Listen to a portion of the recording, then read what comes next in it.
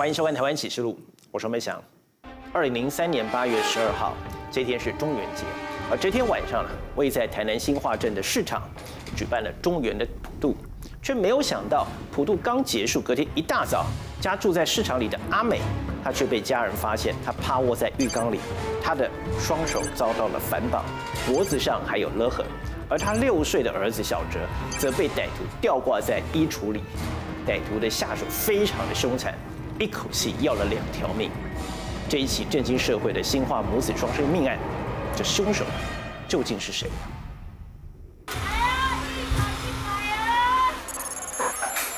我在台南新化信义路跟大同街上的传统市场，白天这里叫卖声不断。路口这一栋四层楼透天厝，绿色的外墙已经斑驳，应该属于黄金店面的转角建筑。尽管一楼还有不少摊贩做生意，但二楼以上全是空荡荡的。窗户上的窗帘歪歪斜斜，透过玻璃可以看见屋子里堆了不少杂物，看得出来这屋子已经有段时间没人打理了。遇到了事情遇到那个上天也没有什么。二十年过去，对家属来说，锥心刺骨的那一刻依旧忘不了。媳妇跟孙子就在自家的透天厝里遭人杀害，而凶手至今尚未伏法。我大概啦，政府的公布公布名单，恁第一个想法是啥？我就是看看到底迄有迄个无安的名。每一天都在等，每一天都在盼，这是家属的期盼，谁听见了？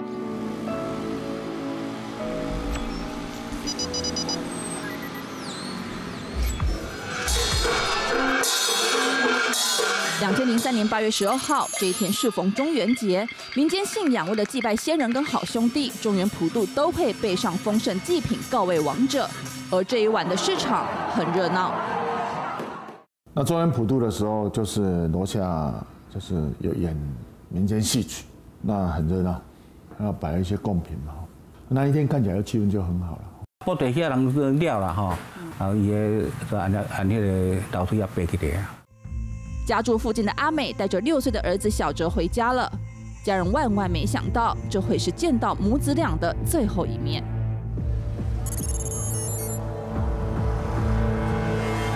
这一天一早，阿美的女儿就来敲门，要叫醒妈妈的弟弟，但敲了敲门却没人回应。拖鞋都是摆在室外。结果拖鞋不见了，那以为他妈妈跟他弟弟外出，他就折回来他阿妈家，跟他阿妈讲说妈妈跟弟弟不在。怎么可能不在家？这个时间点，妈妈会带着弟弟去哪？啊，他们就从家里面打电话进去，也没有人接，找不到人。啊，想奇怪呢，嘿，无啊，唔过锁掉了吼，啊，无锁匙的吼，啊，所以叫锁匠来去开。门开了，阿美的女儿跟着阿妈进到了屋里，但屋子里静悄悄的。再往里头走，在浴室里，他们看见。结果进去的时候，他女儿看到他母亲是在浴缸里面。妈妈是死在浴缸里面，而且，呃，是被泡在浴缸的水里面。眼前的这一幕吓坏了阿美的女儿，她赶紧找人帮忙，希望能够救救妈妈。去了一个卖牛肉的阿文。他来帮忙把那个神经不要人把它弄起来。邻居赶来帮忙，家人也赶快打一一九求救，但来不及了。已经在浴缸里面确定已经 OK 了，已经现场死亡了，所以也没有送到送到医院去急救。阿美双手遭到反绑，嘴里还被塞了丝巾，脖子上一道明显的勒痕，都在控诉着歹徒的凶残。但让人更担忧的是，倘若歹徒闯入屋内杀害了阿美，那阿美六岁的儿子小哲，他人在哪？也不见了，也没有看到人，找不到他弟弟。六岁的小哲是家中最小的孩子，平时总跟妈妈阿美形影不离，现在却找不到人。当时负责侦办的刑事组组长吴金龙第一时间也赶到了现场。当他得知六岁的小哲失踪时，一股不安开始在心中蔓延。当时一听到这个消息以后，当然就心里就凉了一半。没有听到，都没有声音啊，不可能啊！小孩子才六岁而已，不可能这么冷静啊，不可能这么冷静。所以我们就逐一的去找。第一时间到场的远警全都帮忙找人，毕竟六岁的孩子不可能凭空消失。当他们踏进屋里，打开了房间里的衣柜，果然在就在衣柜里面就找到小孩子。我在衣柜里面，他那个小朋友被吊。眼前这残忍的画面，连从警多年的资深警探看了都不忍心。这个是一个非常大的冲击，是一个非常大的震撼。我我想没有人可以接受到这种画面，我们感觉人性的明灭实在是太太让人冲击了。泯灭人性是专案小组对于行凶歹徒最严厉的指控。当时负责侦办的检察官周文祥回忆起这个场景，依旧揪心。因为一来他是孩子，二来其实我当时的一个孩子也是啊，刚好差不多这个年纪。我觉得说这个凶手真的是。很凶残，用浴巾勒毙之后，你还把它吊挂在这个横杆上面，吊死小孩子那条浴巾，他平常睡觉使用的那条浴巾。歹徒一次夺走了两条命，究竟是有多大的怨，多大的恨，非得要置人于死，连六岁的孩子都不放过。加入台湾启示录的会员，每周独享频道特别计划，和我一块翻阅记者秘密档案。究竟是多么大的仇恨？为什么连六岁的孩子都不放过呢？当年任职新化分局侦查队小队长的廖世华说：“他看到了母子沉尸的现场，真的令人鼻酸。因为就在死者的房间里头，还有一套小制服折得整整齐齐的，就放在床头边。因为那一年六岁的小哲他要上小学一年级了，但是因为歹徒的凶残，让他没有机会穿上这一套新的制服。”廖世华说：“为了替这对母子伸冤，当时他在心中默念，他告诉持者，希望能够帮助他们逮到了凶手，让他们入土为安。没想到，当他默念完这些话，他一抬头就看见了在厕所的马桶的水箱上面有一把水果刀。廖世华说，这把水果刀吸引了他的注意力，因为没有人会把水果刀带到厕所去了。”除了厕所的这把水果刀之外，廖世华他还在客厅的录影机上面看到了一把螺丝起子。但这有什么奇怪呢？这一把螺丝起子跟一把水果刀能够对案情的突破有什么样的帮助吗？阿美跟六岁的儿子小哲遭歹徒杀害，城市屋内，双尸命案震惊淳朴的杏化小镇。啊，生两个仔啦，即卖他个生只查甫啊，啊，两个拢死的，小妖狗。家属伤痛欲绝，痛斥歹徒太过凶残，让原本一家人的幸福和乐全都破灭了。真的不知道，莫名其妙，真的不知道。您现在的心情？因为老婆小孩子都是我的希望，他们走，你说我还有什么希望呢？案发当时正值八月中旬，八月底，六岁的小哲就要上小学了，他满心期盼的小一新生活再也没有机会实现了。而床头上那一套全新的制服，看得让人揪心。我我看到他那个家人帮他准备的那个制服，非常折得非常完整。就是卡其的字，这很完整哦。其实我心里面都会在想哦，谁家没有小孩，而且已经要念小学了哦，刚培养到念小学，而且这个小孩是很聪明，然后就栽在凶手的手中。弟弟那么小，才刚刚升小一，他就已经过世了。有跟妈妈发生过争吵的有没有？没有，没有，没有。妈妈很少跟人家发生争吵。那爸爸嘞？家里面的爸爸也没有。她是阿梅的女儿，听得出来她的语气中带着颤抖跟惊恐。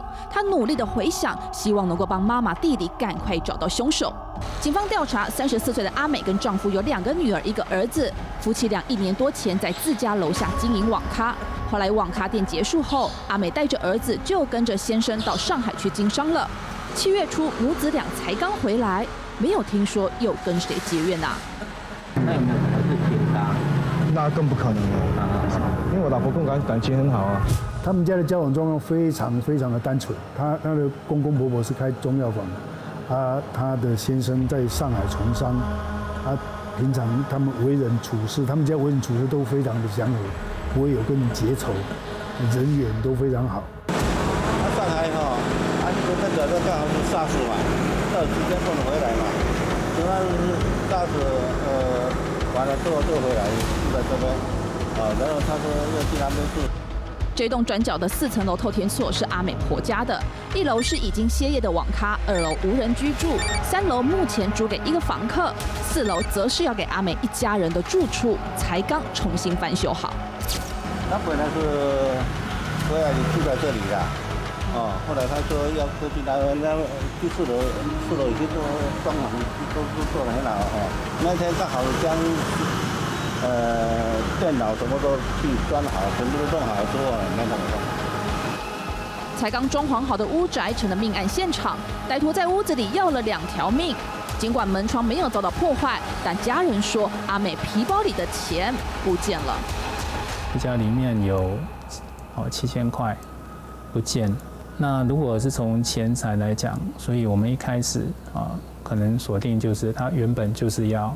要抢钱或偷钱，现场一般强盗杀人那种凌乱的现象是没有，还蛮整齐的。但是因为死者是一个小孩子，跟一个母亲比较瘦弱的一个状况，啊，我们就研判应该是由偷变杀人的案件。尽管屋内没有打斗痕迹，但毕竟是凶案现场，歹徒再怎么谨慎，都肯定会留下线索。监视人员赶紧在现场进行搜证，没想到第一步就遇上了难题。那采证的时候，就发现到很多消防人员进去，还有他们家人进去，有很多凌乱的脚脚印，所以那些脚印，我们也叫消防消防人员啊，还有。一些有进去过的人员呢？因为那一天进去的话，哦，有二十几个吧。因为进去的人也多了，你越多次的话，就是把现场给破坏掉。就是第一天的时候人很多，人多的话，就是因为有时候我们的财政的有时候唾液啊，或什么毛发、脚印啊怎样一些，可能会影响到。啊，所以没有办法理清哈，到底是啊案发时候留下来，或是啊后来人进去。急救的时候产生的这样子。为了跟死神抢时间，当天来帮忙的、来救人的，还有家属，都在现场留下了鞋印跟指纹。很多指纹哦，当初那个那个工作人员进去有很很乱，所以我们在排除那个。现在目前还没有什么没有什么其他指证证据。没有没有没有。混乱的现场增加了采证的难度。当时第一时间人在现场的小队长廖世华心中也很焦急。所以我那时候心里我也想说，我就是只有一个想法，就是我希望能够帮你们找到凶手，希望你们能够入土为安的。第一个想法就这样了。那如果说你能够给我一点机会的话，告诉我一些东西了。替死者沉冤得雪，这是所有远景心中唯一的念想。说也奇怪，当廖世华心中默念完这些话，他一抬头看见了厕所的马桶上有一把水果刀。所以我觉得我在不经意当中会回头看你，看到那把水果刀，我会觉得很奇怪，因为那个时候我蹲下去的时候，我看到那水果刀的时候，我就起了很多联想。我第一个想法就是，吃水果还要到浴室来面吃吗？很奇怪。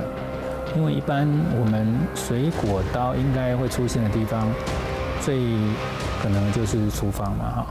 那再来，也许在客厅，你可能在那边使用，在。浴室，我觉得非常非常的异常。不仅水果刀出现的地方很奇怪，再看仔细一点，这把水果刀的刀尖不晓得被什么给弄弯了。而且除了这把水果刀，当时在屋内还有把螺丝起子，也吸引了警方的注意。录影机上面就是一只螺丝起子，一般人会觉得说那个是修理录影机用的，可是我没有。廖世华说：“由于阿美家中的门窗都没有被破坏，专案小组一直在思索歹徒是怎么进到屋子里的。看着眼前的水果刀跟螺丝起子，他的脑海中闪过一个念头。因为我要入的时候，说我有，而且中间我有注意去看那门，有看到那个门哦，就是尖加一个边，迄工具迄工具痕迹，我就看，哎，这应该是一边一尖开当入去，因为锁匙无锁匙嘛，锁无破坏嘛，就安尼撬撬开。”我讲一个螺丝刀，大家去好，给我好的。比对门上工具痕迹，专案小组大胆研判，这些应该就是歹徒用来开门的工具。现在只要把刀跟螺丝起子拿来做采验，应该有很大的机会就可以找出凶手是谁。好，的确，专案小组研判，这把水果刀跟这把螺丝起子，应该就是歹徒用来破坏门窗的工具。那么，如果是的话，那就应该可以在上头采到凶嫌的 DNA。果然，监视员在水果刀上面比出了一个关键的 DNA，但这 DNA 的主人是谁呢？当时新化警方为了找到 DNA 的主人，他将新化这所有的治安顾虑人口还有居民通通都起来采集 DNA。光是裁剪的费用就花了上千万元，而结果都比到了吗。老弟走上来就是个门，哎，这是个卧把嘛。然后进来以后，这边就是一个浴室，浴缸在这边，啊这边矮柜这边，刚好那个那个康泽生的衣服啊，就走在这边呢。案发现场的每一个场景，深深刻印在廖世华的脑海中。为了厘清案情，找出杀害母子俩的凶手，廖世华至少六次重返案发现场，要找寻线索。幸好皇天不负苦心人，尽管命案现场第一时间遭到破坏，但专案小组在小哲丧命的衣柜上看见了一块汉字。这个都需要一点劳力，然后窗户又是密闭的，我们研判他一定会流汗。他在流汗的过程当中，会不经意的去碰触到。碰触到那衣柜的内侧，可是这个案班我上去比对，我比我还高，请我们里面一个侦查组，大概一百八十公分的侦查组来做比对，也比他还高。专小组从汉字的高度研判，歹徒的体型应该很壮硕。此外，警方从捆绑小哲的浴巾上也采集到了 DNA，这个 DNA 跟那一把水果刀上 DNA 的主人都是同一个。问题是他是谁？因为经营过网咖哈。我们也是认为说，他是网咖的客人的成分会比较大一点所以当时伫新华店上所有少年人伫网咖的少年人哦，包括即个有可疑的啦，甚至即个或者长辈啦吼，大家拢爱吼，现在即个长辈拢爱请来请来迄个做这个 DNA 啦，采检一招，啊用棉花棒讲吼，采检哦，话真正爱去写同意书啊，哦话拢已经哦心情拢有够歹安尼，所以你当时咧查这个件其实。规个新华电厂要甲变啊，三四百个，拢一批一批安尼，逐工做，逐工做，啊，逐工做啊，新办的人员就逐工就一批上验，一批上验，一批上验安尼，啊，一直筛检，一直筛检，一直筛检啊，报告一直来，一直来。光是查电话通联，至少就花费了一百多万，还有指纹比对，也是至少好几百万，零零总总加起来，光是查案就是上千万元的花费。其实当时专案小组有锁定一个可疑对象，这个人叫刘华坤，二十六岁，身高一百八十五公分。他曾经在阿美夫妻俩的网咖里帮忙，而且他有窃盗前科。当时专案小组觉得他很可疑。他平常就是无业游民，到处游荡，有钱了就去很快的花掉，他没有钱了就去偷。刘华坤他给我们的第一印象，他是那种懵懵呆呆的那种外表。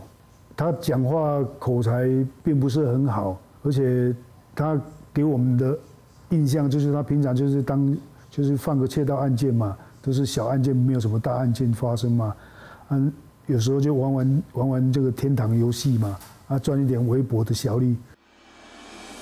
刘华坤当时也有被请来采 DNA，面对警方，他神情自若，没有异常。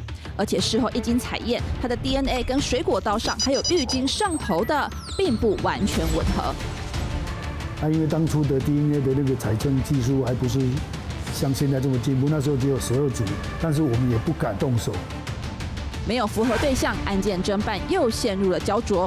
日子一天天过去，整整两个多月，检警的专案会议几乎天天都在开。大家都在想，究竟是哪个环节被遗漏了呢？好，到底是哪个环节漏掉了？怎么可能比不到对象呢？这案子一天一天过去了，依旧没有办法锁定歹徒的身份。据说当年有这样一个传闻，这对母子就安葬在新化的示范公墓，但是他们的墓冢上面却是寸草不生。公墓的管理员说，一般这个坟头上面的草都是很容易存活的，但这对母子的坟草再怎么样细心照顾，就是长不出来。就有简古师说，这是因为阿美母子俩他们是含冤而死，怨气冲天，所以才会导致墓冢上面寸草不生。我在新化镇的示范公墓，这里是亡者的长眠之处。放眼所及，墓冢累累，而每座坟墓上头都是满布翠绿，唯独眼前这两座坟光秃秃的。帮我做好啊，啊，你都蒙古屯屯的，啊，阮就该就就就该知啊，啊知啊啊是是讲奇怪，啊那拢压袂活安尼啊，啊你看我嘛上起嘛，我嘛各种草嘛拢有发，你无看拢无发，拢也袂发草，你无看。在这里工作十多年的管理员们，从没看过这情景。他们想不透，都已经细心照料了，怎么还长不出坟草呢？有死者母子下葬以后，结果那个坟墓上面的草啊，就干掉、黄掉了，就没有办法、没有办法活下来。奇怪了啊！工作啊，为了炒作我呢。这一大一小两座坟，就是阿美母子俩的安眠之处。由于母子俩遭人杀害，至今凶手下落未明。再加上墓不长草，许多灵异之说开始甚嚣尘上。呀，运动去呀，所以大家啊，这一草啊，栽栽的话，这一般的气呀，这是万气呀。地方人士就就在传说，这个死者啊阴气重啊，造成那个草长不出来，后来就没有种草。光秃秃的坟土，代表的是死者的心有未干吗？吴金龙说，就在案发后没多久，辖区派出所的所长就梦见了母子俩。案发第二天晚上，所长就有梦到带着小孩子来找所长，希望所长可以为他主持公道。希望警方替自己跟孩子主持公道，但案件侦办陷入瓶颈。对警方来说，身上扛着的是死者跟家属的殷殷期盼跟破案压力。其实早在案件发生之初，阿美的父亲就曾经有所感应。他说：“神明指示阿美的案子一百天会是关键。”他的爸爸在田里面工作，他就突然就起机，然后就回家，就说这案件案件。他们家有发生大事情，如果那个承办的能力够的话，就在一百天内就可以解决了。那如果没有办法在一百天内解决的话，就需要靠神明的能力来帮忙解决了。我一直都要讲，这案那要破案吼，是要三个月转日的。百日破案是神明的指引，但是对家属来说，日子一天天过去。无法替家人伸冤的痛，日夜都折磨着他们。他们怎么有办法静下心来等待百日呢？于是家属到处求神拜佛，希望神明能够给他们更多的指引。不来台南和平街上的南沙宫供奉包公，民间传说包公审案申冤，勿枉勿纵。当时阿美的先生跟家人特地前往南沙宫参拜，希望包公能够明察秋毫，替他们做主，让死去的亲人早日沉冤得雪。啊，那时候康先生也很焦虑，说奇怪，为什么破不了案？为什么破不了案？他是潘敏杰，是临界的翻译官，他当时就在现场协助家属，作为家属跟另外一个世界的沟通桥梁。说也玄奇，就在家属诚心向包公祭拜后，潘敏杰也有所感应了。啊，他就后来开始说，死者哦死得很不瞑目。包公给我的画面，说死者就是说内心很痛苦。啊，我看到的死者的画面是很痛苦啊，一直哭泣，一直哭泣，说我连我自己最宝贝的儿子，我最爱的儿子，为什么？我都保护不了。阿美的字字泣诉让人揪心，没有办法保护孩子的痛，是身为一个母亲心中最深的自责。潘敏杰说，就在阿美控诉的同时，他看见了，因为我看到的是一个，就中等身材、微胖、有点微秃头的男孩子。生命面前出现一个清晰的影像，应该指的就是凶手的身影。潘敏杰将每一个特征都牢牢记下来，并且将这些特征告诉了阿美的丈夫。他会认得这个人吗？就是这样，很激动，好像要哭出来又不敢哭出来。听见潘敏杰的描述，阿美的丈夫情绪激动到几乎说不出话来。他说：“中等身材、微胖、有点秃头，这些特征跟他们之前一个离职员工很相似。难道凶手就是他吗？”啊，然后就到那边拿雄杯，拿来这边连续值，是说是不是离职的员工？如果是的话，就请包五包千岁给他雄杯，就连续啵啵啵，就给他四个还是五个的雄杯。好，真的会是离职员工所为吗？呃，问题是当时所有的网咖离职员工，通通都采集过了 DNA，也都排除了，还能够怎么找呢？小队长廖世华说：“因为早期的 DNA 的检验比对的组数比较少，所以结果不像现在那么精准。当时他有听说高雄市刑大有引进了最新的 DNA 比对技术，比对组数更多了，所以他就大胆建议将那把水果刀送到了高雄，再做一次比对。果然经过比对，真的比中了一个对象。这个人是谁？他就叫做刘华坤。”他就是网咖的离职员工，他跟阿美、跟小哲这一家人都非常熟识。再来看看这个刘华坤的长相，竟然跟当时出现在高工面前的影像不谋而合。新化警方侦办母子双尸命案，整整两个多月，案情始终没有进展。当时即将退休的副局长杨荣高，每天开完专案会议，就会带着刑事组长吴金龙到命案现场去找寻灵感。他就骑骑脚踏车骑到骑到现场，他就突然轮胎就爆爆胎，他就告诉我说，可能这个案件有机会破案了，因为他的他的脚踏车破裂了，就骑到那个地方刚好破链，哎，就觉得这个是一个好兆头。对，我在案发的第三天呢。我也在家里哈，因为我是学佛的，我也在佛堂里面跟我们的哦佛祖说了哈，我讲我现在办什么案子啊？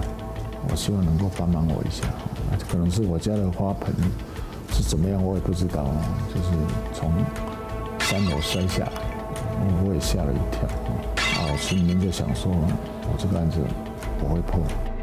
一个个征兆让当时承办案件的人员心里都有信心，一定能够找到关键证据，将歹徒绳之以法。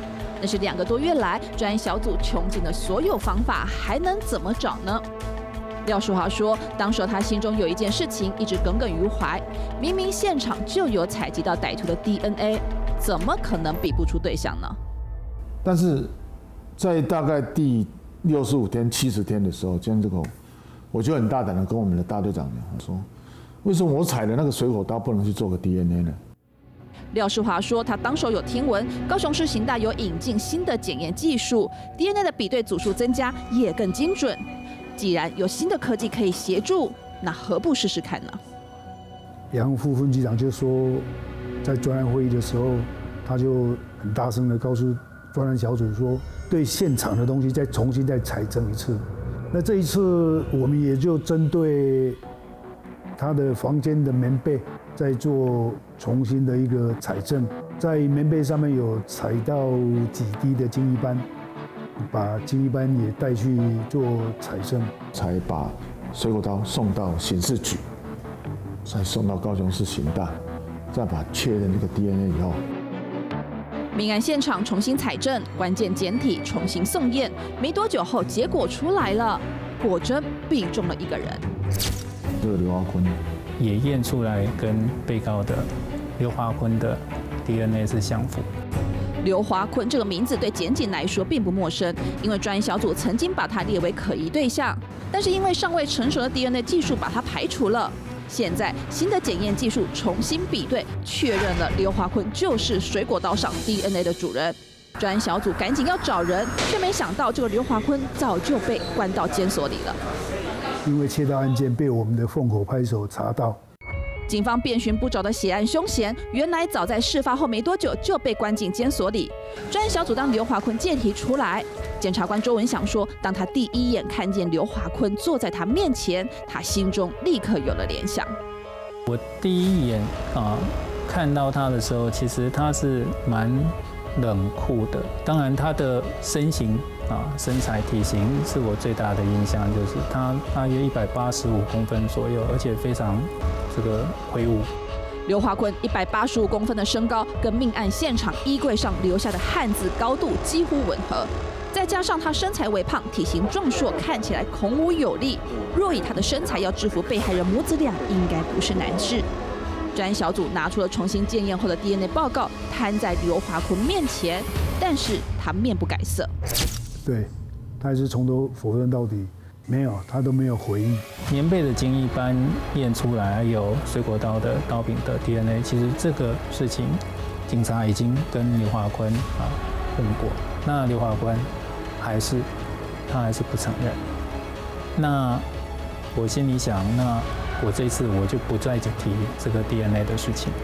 周文祥知道，尽管手中的 DNA 已是罪证确凿，但要突破刘华坤的心防，还是差了那么一步。我就转一个方，我就想说，他既然犯了这个大案，应该会睡不安稳。我就轻声的问他说：“你在这几天在监狱还睡得好吗？吃的还习惯吗？那？”有没有什么需要我帮忙的？却没想到，原本语气坚定的刘华坤，听见检察官这样的询问，突然间他的神情态度变了。那头低低的，我就在更小心、更小声的，我就放非常轻声细语的跟他讲说：“那你有没有什么话要跟检察官说的？”然后大概等了几秒，他就说是他做的。刘华坤突然认了杀人。是什么让他良心不安呢？今天杀了他们母子，他们不会找你吗？他跟我说，会了，他们都会，他很难睡了，他们都会找他。天没困啊，歹困啊，反正过去啊，就讲会啦。啊啊，真正有困的就忙啊，忙去啊，忙去，啊就忙去老母带囝，手牵手啊，啊来徛伫面头前，啊拢不欢喜。拢无讲话。啊无讲话，我咧甲问讲啊啊，你看伊来做咧啥？阿美母子俩的夜夜入梦，是压倒刘华坤的最后一根稻草。他告诉检警，人就是他杀的。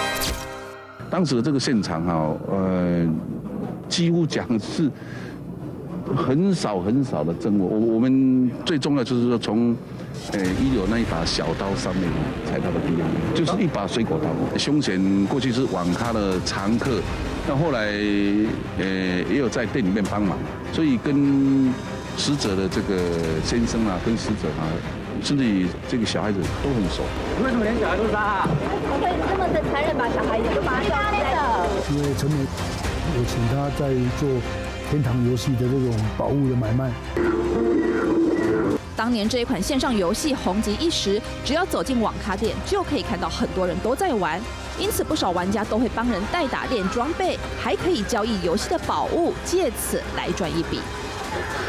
伊就替拍，替拍迄个网络游戏无？啊，赢迄个天币啊，用武器换的，因为武器赢着武器爱当去换天币啊，啊，天币就是换现金嘛。伊拢靠这卖因啊来咧赚钱啊，这做生活费啦。平时刘华坤都窝在网咖里玩游戏、练等级、打装备，再把赢得的虚拟宝物卖给阿美，让阿美可以转卖牟利。凶险称死者啊，都叫老板娘啊，所以他们互相都认识。小孩子也是蛮有礼貌的，看到刘华坤的都会叫他叔叔啊。因为迄阵底下吼，伊拢有底下拍吼啊，若去买便当吼，啊，拢迄个查甫囡仔拢会去买便当吼。人去若买便当来吼，一段时拢叫拢阿婆甲摕这便当去互伊食安尼啦，哦，啊若买饮料啊，讲也传摕去互食。尽管事后阿美夫妻俩收了网咖，带着小哲到大陆去经商，但阿美依旧会跟刘华坤买宝物来转卖。两千零三年七月初，阿美带着小哲回来台湾，一个多月后，就在案发那一晚，阿美跟刘华坤谈好了一笔宝物交易，约好了碰面。说他当时一开始卖宝物嘛，那这个死者给他三千，啊，所以伊较来现场，甲摕现金，伊敲电话陈美，陈美从对楼顶行落来，啊，伫栋吼楼外楼骹，迄楼迄迄七楼下，较摕互伊。然后可能就是陈美在拿钱的过程，皮包里面的还有钱，让刘华坤看到了。好，刘华坤他认罪了。他说，当时他看到了阿美皮包里头白花花的钞票，让他起了坏的念头。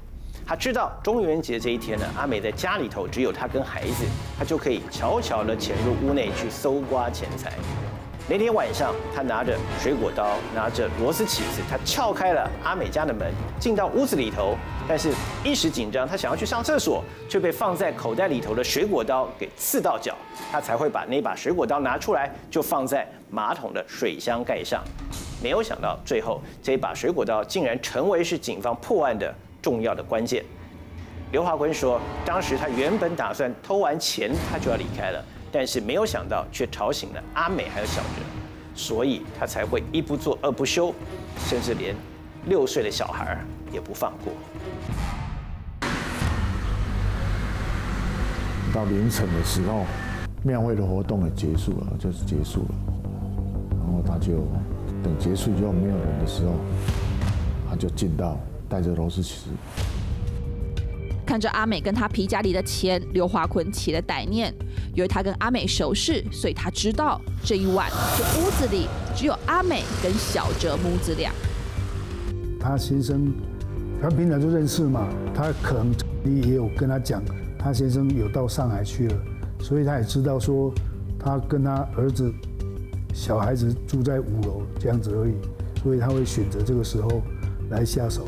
它螺丝其实是从一楼一楼的柜台的上面盒子里面是拿了一字形的螺丝起子，然后就沿路把那个喇叭锁这样子开了之后，从一楼上到二楼，二楼上到三楼，到了四楼，刘华坤有切到前科，要破坏这些门锁对他来说都不是难事。他一路来到了阿美的房门外，那因为螺丝起子他敲不开。所以他又返回到楼下，就三楼，刚好那三楼也没有关，他就进去找，然后有水果刀，他就拿到四楼，他就可以把那个喇叭锁从旁边把它给敲开。刘华坤进到了屋里，他看到了阿美跟小哲正在睡觉。这个时候的他不晓得是否是太过紧张，突然间他想上厕所。他一进去的时候开完门，水果刀就放在口袋。当他进到里面有点紧张的时候，会尿急，所以到浴室去上小号。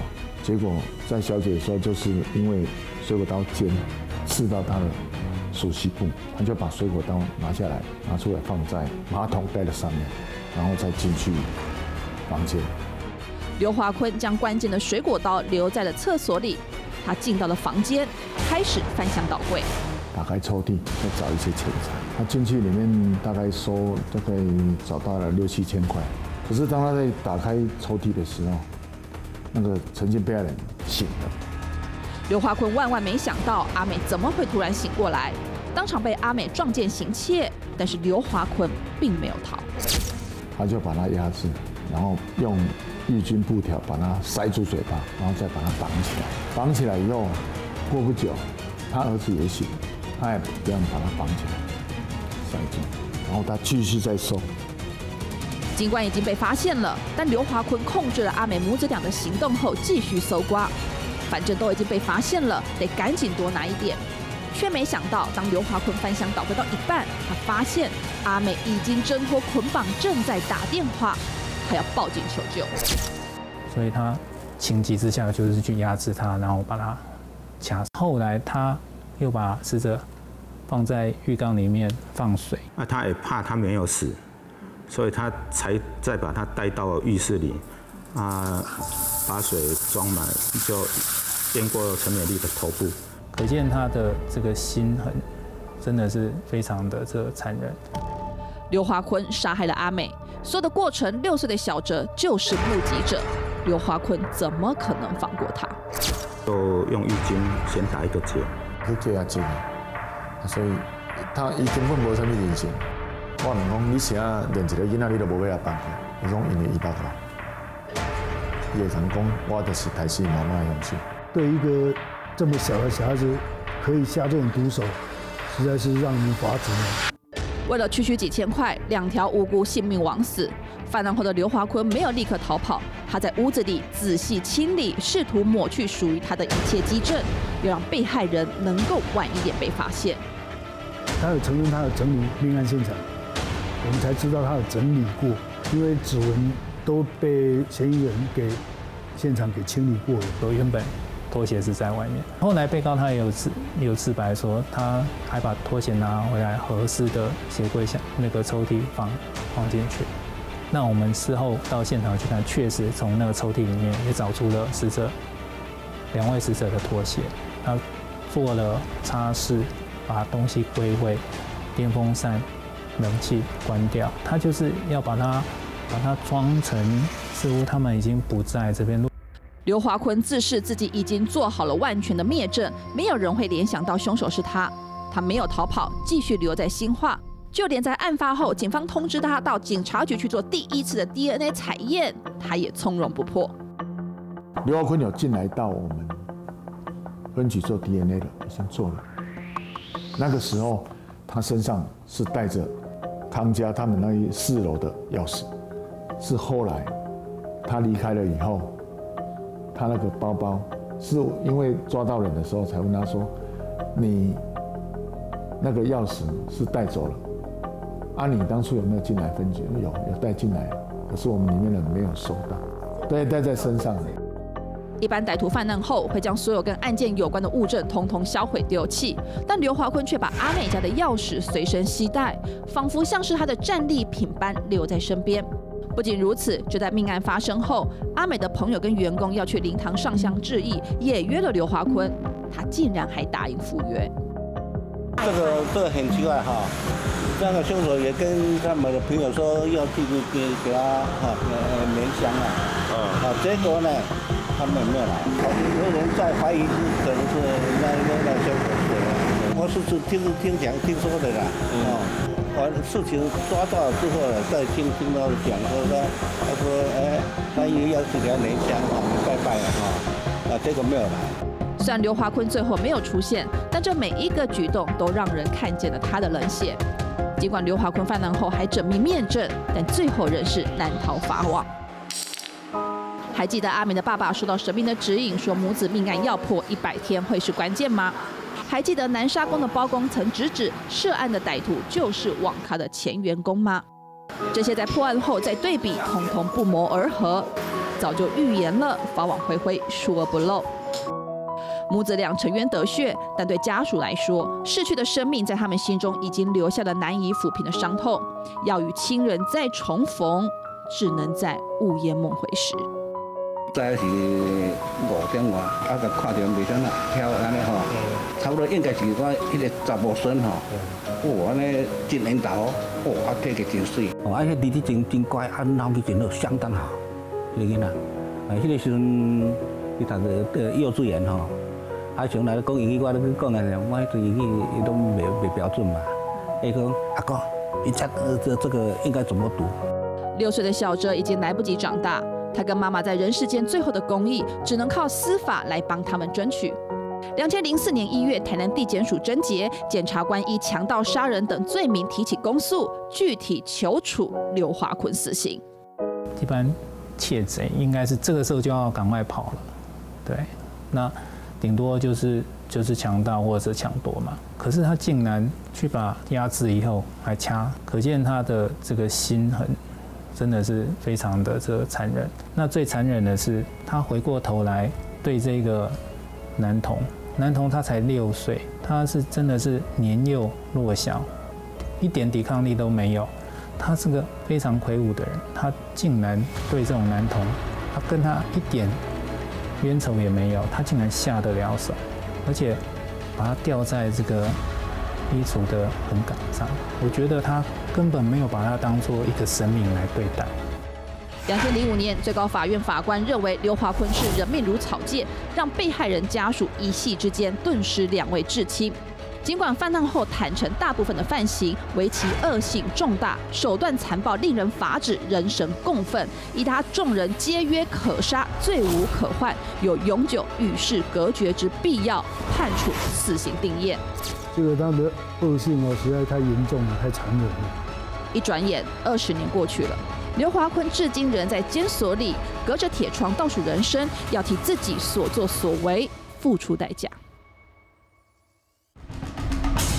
这起新化母子双尸命案，非常巧合的，就像是神明所预言的百日破案。而另外，就在刘华坤落网之后，阿美母子坟头上面的草也长出来了。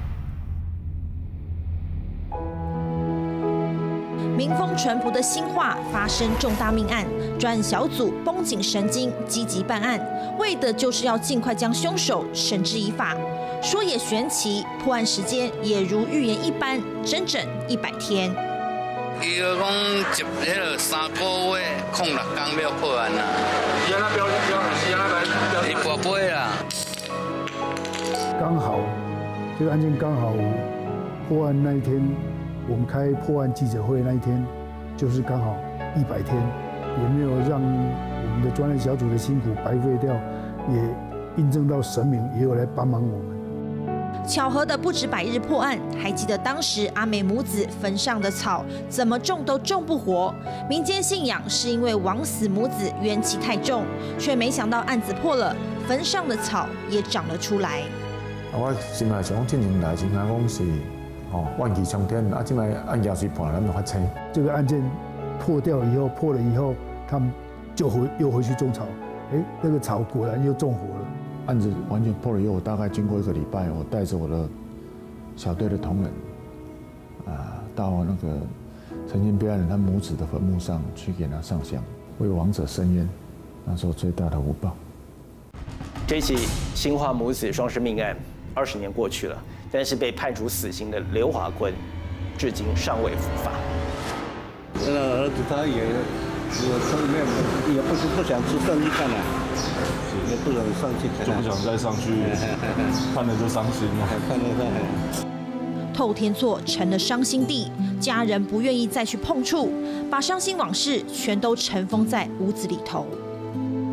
该该啊，该枪毙就枪毙啊，万福嘛不好啦，有些中酒啊啦，哦，啊下一场戏就戏了，不然是二十年过去了，阿美的两个女儿长大了，也嫁人了，阿美的先生也已经重组家庭。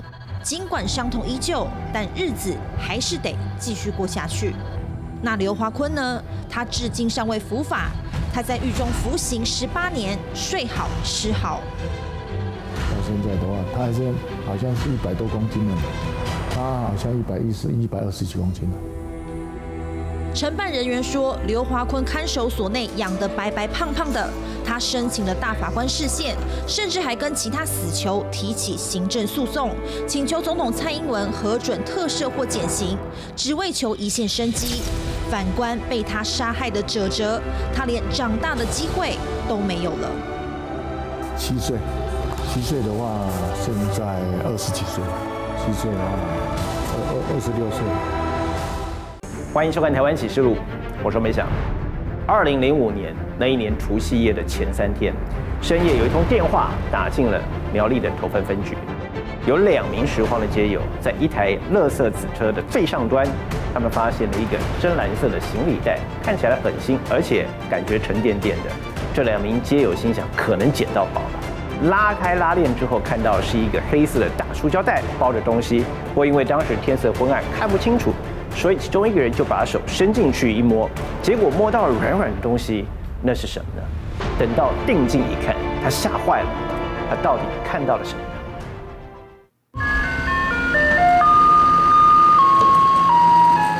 垃圾车来了，民众提着大包小包去丢，因为快过年了，忙着大扫除。苗栗头份分局内，警方则忙着赶快将案件处理好，准备过年。过年期间都有所谓的春安工作，绩效也准备差不多了，要暂时比较放下战斗的那个精神的时候，突然就会接到电话了。深夜的一通电话打进警察局，欢喜迎新年的气氛全没了。是一具女尸，而且是无头的女尸。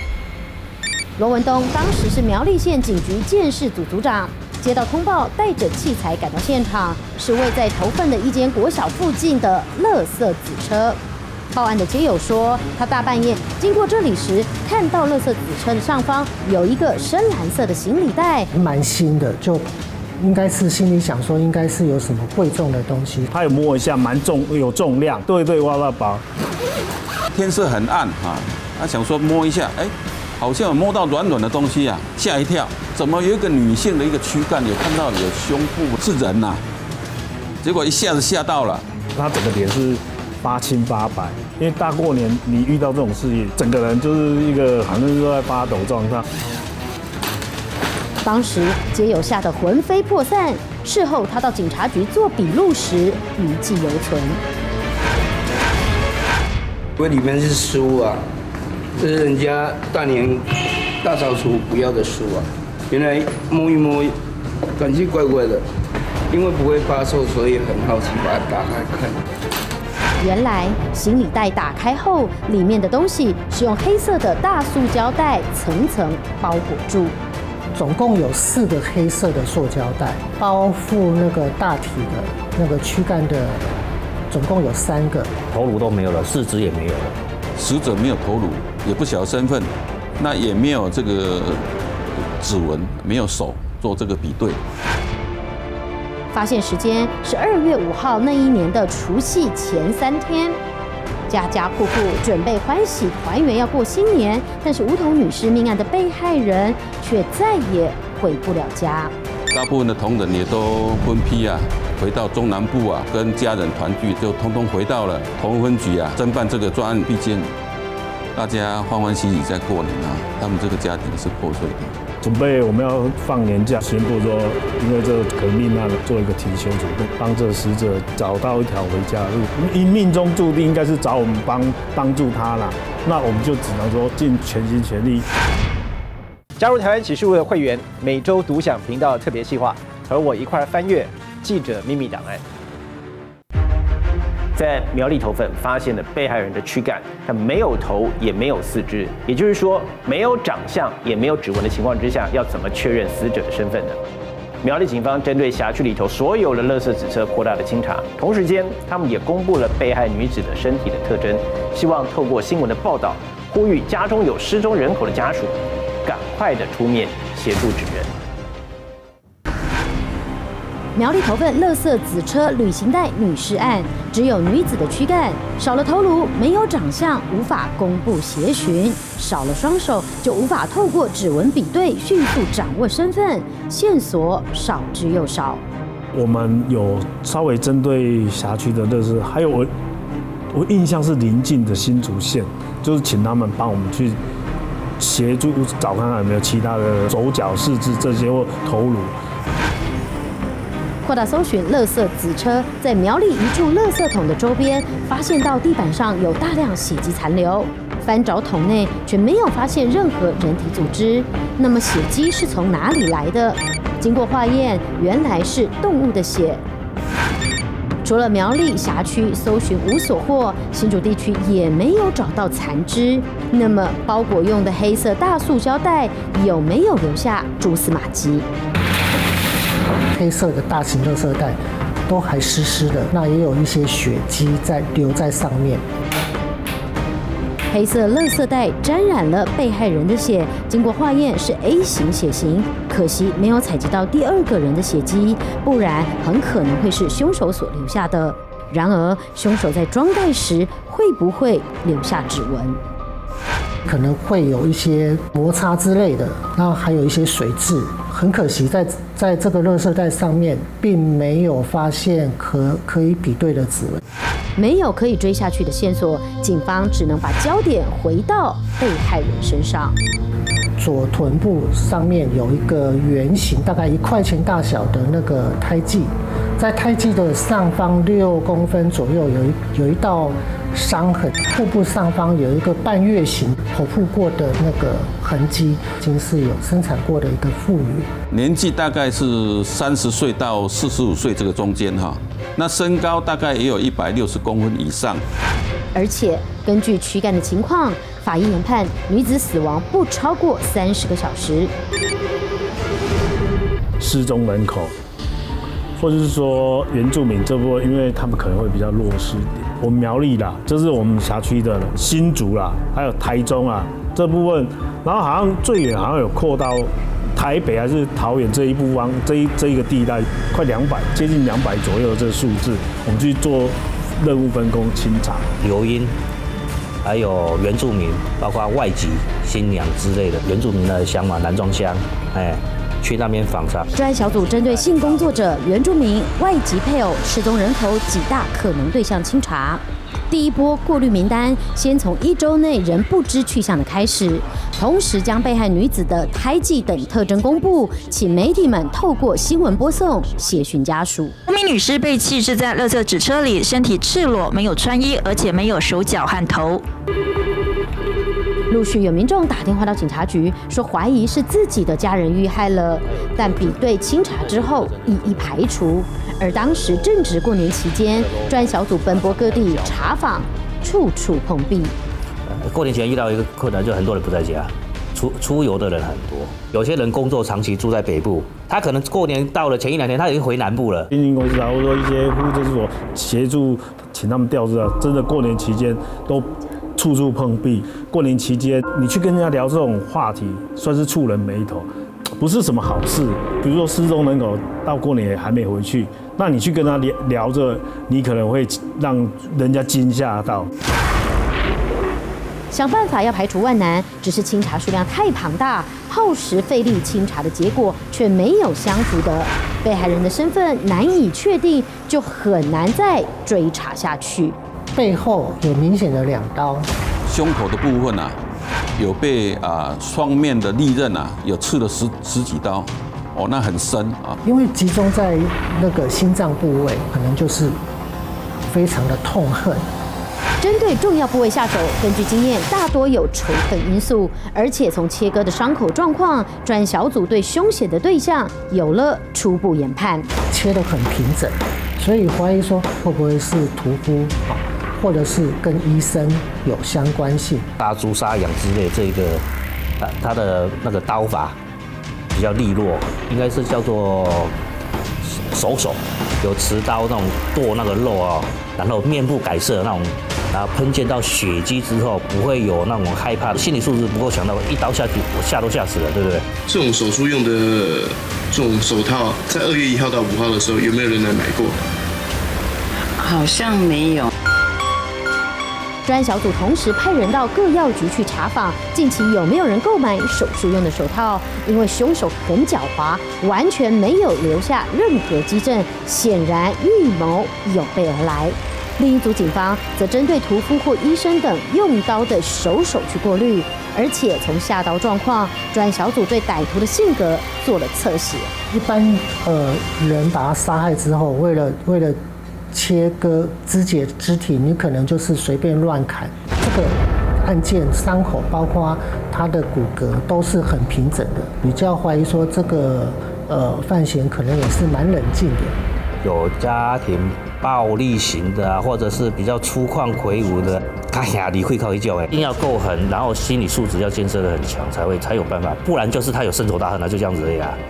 过滤分析一轮，没有符合对象，案子又再度卡关。倒是法医从被害人的胃里有了新发现，那颗药丸也大概溶掉，溶掉大概就是一半左右。法医带回去检验，因为那时候想说会不会让他昏迷之后呢，再先下药，下药之后，然后再。呃，行凶，不排除歹徒是用安眠药下药之后再犯案，但是药片的检验结果却不是安眠药，是异妥明啊，这个这个精神药物，医生处方签才可以取得的。领用这个药物服用的人数很多，九千多人的样子。那时候刑大跟刑事局都有支援，分组啊，到社福机关还有精神疗养院所去调阅啊相关。大概三十几岁到五十岁这个女性啊，有去就诊，数量实在是太多了。专案小组以被害者的血型 A 型、异妥明药物以及女性这三项关键讯息进行查询。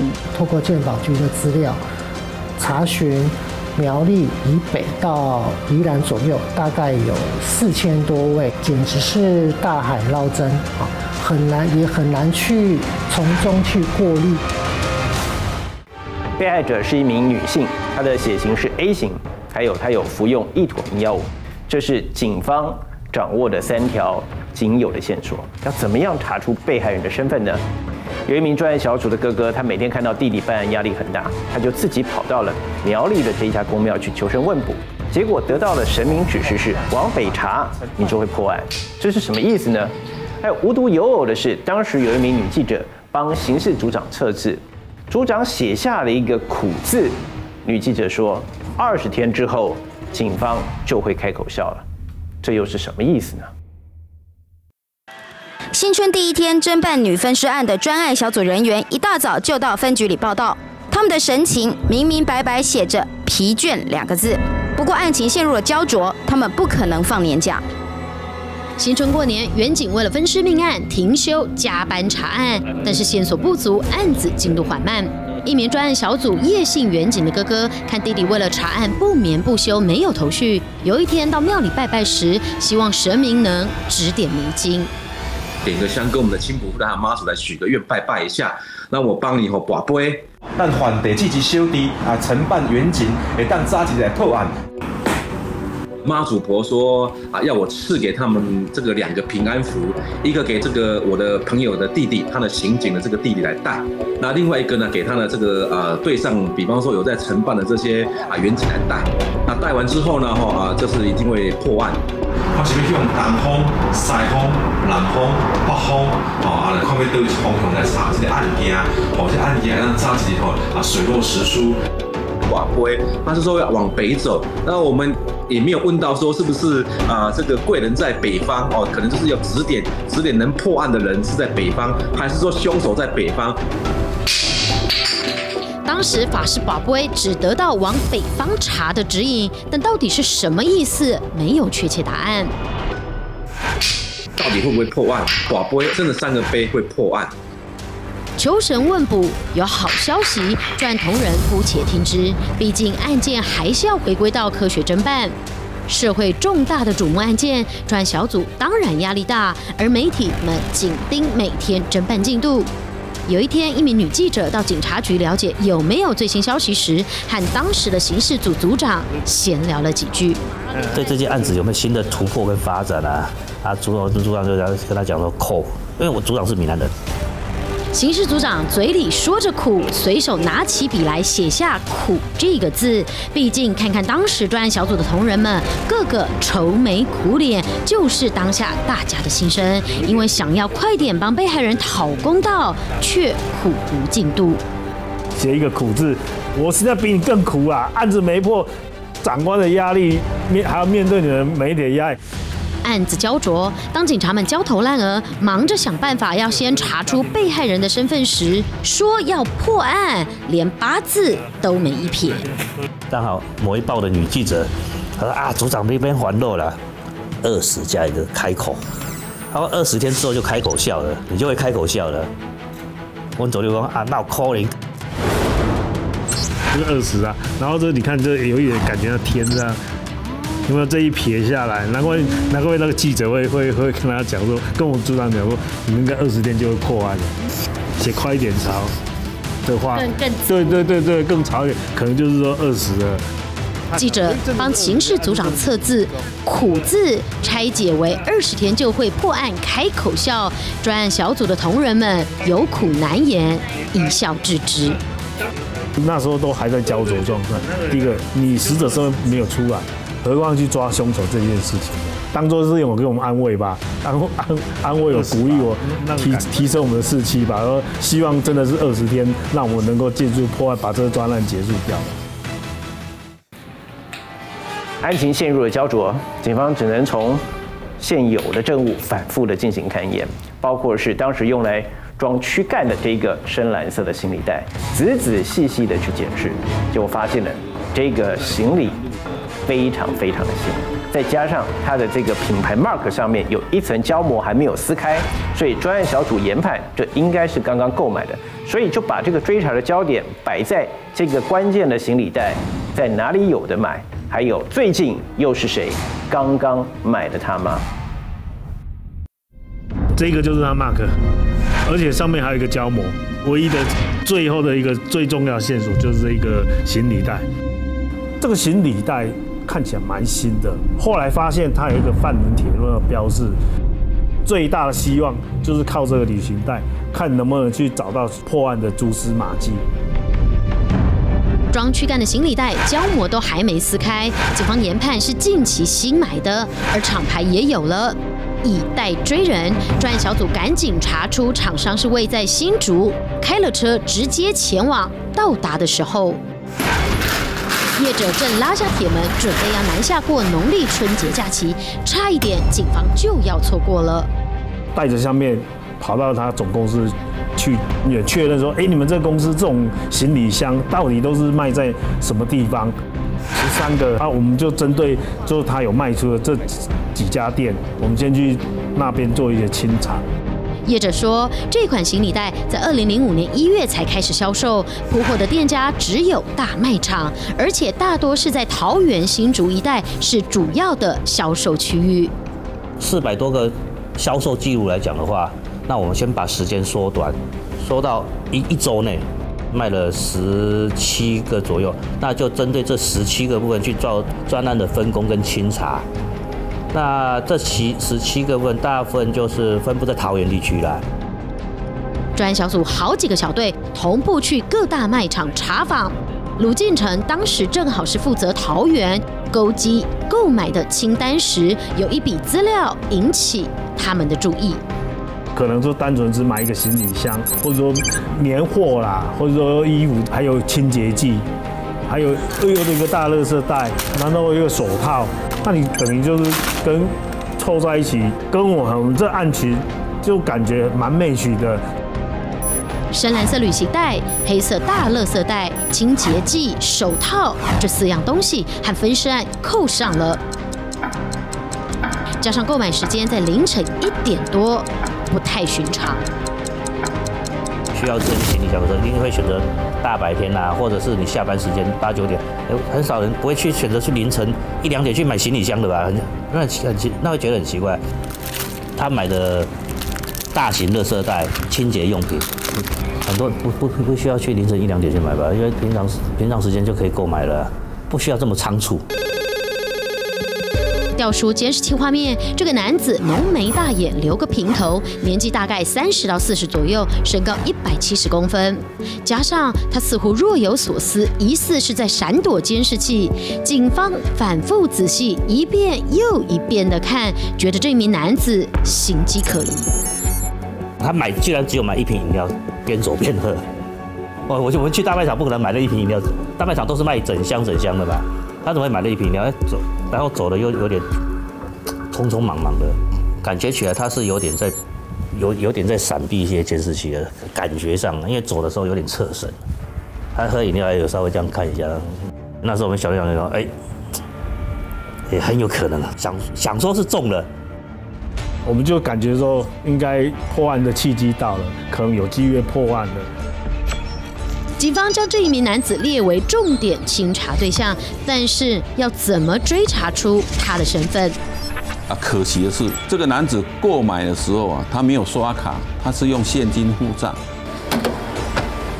现金付账不像刷卡可以从卡号反查刷卡人的资料，再加上男子也没有报卖场的会员账号资料，无从得知他的身份。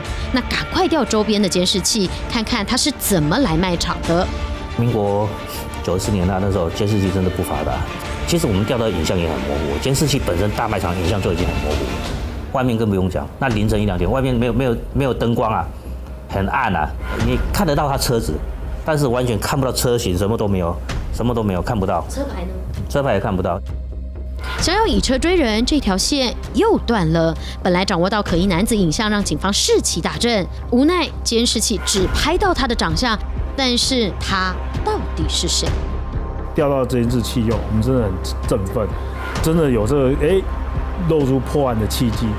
但是你要怎么去追这个人？欠缺这临门一脚，对我，所以还是在那里焦灼。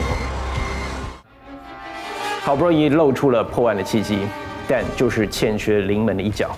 我们来看看这个监视器拍下了这名可疑的男子，他浓眉大眼，戴着眼镜，理个平头。大约三十到四十岁左右年纪，一百七十公分高左右。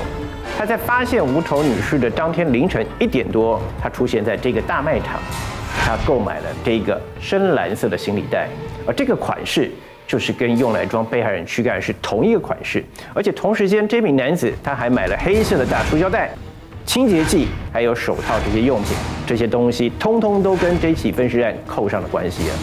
我这名男子他的长相都被拍下来了，但问题是警方却查不出来他是谁，为什么呢？绿西带女尸案，警方一代追人，锁定影像中这一名可疑男子，只不过有长相却查不出身份，案子再一次卡关。开专案也是两派也在，后来就是说一个不是说要不要公布这个凶手如果啊畏罪自杀了，或是把相关的作案的这些事证啊啊湮灭掉了，那对我们警方在侦办这件命案的时候啊。会遭遇到困难。另一个长官就是说不要，怕说会会万一曝光，人犯跑掉。到目前为止，只能确认男子案发前的敏感时机点购买了跟分尸案连结上的物品，却没有证据能够进一步说他涉案。不过能查该查的其他线索都没有下文，时间又一分一秒的消逝，已经案发第十九天了。那到最后。我们真的已经有招胜没招了，十几天了啊！就是影像赶快公布，公布看有没有人会打电话进来。不能够再等下去，检警决定透过媒体公布影像来协寻这名可疑男子。这名男子您认识吗？他就是苗栗无头女分尸案的嫌疑人。这位关系人特征是年纪约三十几岁。身高约一百七十公分左右，那穿着蓝灰相间的运动服前往这个大卖场。可疑男子的影像透过电视台的播送，警方陆续接到三通的检举电话，其中有一通是打进桃园的中路派出所。警方公布影像当中的这个杀人的啊嫌疑犯呢，可能就是他们社区里面的啊叫阿红的男子啊。值班同仁还有副所长啊，他们就赶到这个桃园大兴西路附近呢，啊，去找。去到社区扑了空，派出所的副所长脑筋突然闪过一个念头：这个阿红似曾相识。再仔细看了一下他的照片，他想起来了。中路派出所的副所长的女儿跟阿红的女儿啊，是同在学校里面啊，同班同学。副所长低调到学校去查访，最近孩子们有没有察觉异状？发现阿红的女儿在家庭联络簿上倾诉了这件事。他是有提到他妈妈回娘家的啦，都是不爱他们的，回娘家了。女儿的联络簿本来都是他妈妈在签，怎么后来后面过年这一段期间变成都是他爸爸在签？二月五号之后，二月六号之后。这个学校联络部的签名都是阿红在签的，这个就是这个也是非常可疑嘛。怪了，这家人发生了什么事情吗？副所长察觉不对劲，打算再绕回阿红的住家去看看。就在经过一个路口时，远远看见一个身影，感觉这个男子精神恍惚，走路不稳，在路边闲晃。靠近一看，就是阿红。这么凑巧就碰到阿红在路边徘徊啊！哦，那副所长就把他，哦，就把他叫叫过来。他当下愣了一下，那他自己其实心里有准备，只是说不晓得说怎么会那么快就他在被警被我们警方逮到。副所长在问他说：“啊，你太太呢？”他一一下子就愣住了，说不出话来了。电视公布的这个影像的画面的这个男子的，呃，这个影像给他看了。他就承认了啊，这个他太太啊被他失手杀害。阿红逃了二十天，被抓了。问他为什么要杀死枕边人，他告诉警方，他和太太阿朱结婚十多年之后，因为阿朱患有忧郁症，情绪不稳，再加上后来又沉迷电脑游戏，两个女儿的照顾还有工作赚钱，这些所有的重担都是阿红她一个人在扛。原本甜蜜幸福的家庭变了调了。这段婚姻吵吵闹闹，吵吵闹闹，他们两次离婚又结婚。不过就在农历过年前，二月四号的那一天，阿红她真的忍不住了。那一天究竟发生了什么事情呢？哎，小心啊，小心！逃了二十天，苗栗梧桐女尸凶险落网，她叫做阿红，被害人居然是她结发十六年的太太阿朱。邻居看到新闻直呼：怎么可能？看起来真的是蛮老实型的。现在我没有办法睡觉，就是一直想说闹哭铃，没办法想象说他会这样杀死他老婆。他带他女儿上课，是一个好爸爸，看到我们都打招呼，人很好。邻居眼中的好爸爸阿红，靠维修电脑赚钱养家。他的太太阿朱罹患忧郁症，没有去工作，妻女们都是由阿红在照顾。然而夫妻俩十几年来吵吵闹闹，分分合合。闹离婚要结婚啊，等于是结了三次婚，离了两次婚。阿红为了这两个年幼的这个这个女儿，隐忍下来了，家庭的开销都是落在阿红一个人。听说这个他的娘家，呃，妈妈好像都在喜盛哈，当女婿的，啊，平常也都也也有在资助他，好像也没什么笑脸，啊，长得是结得很漂亮。我碰到他老婆第一次，我就跟我老公讲，他老婆很漂亮，啊，长得又蛮秀气，很很有气质的感觉。邻居印象中，阿朱是气质型的，后来他却变得脾气暴躁，经常听到他的彪骂声。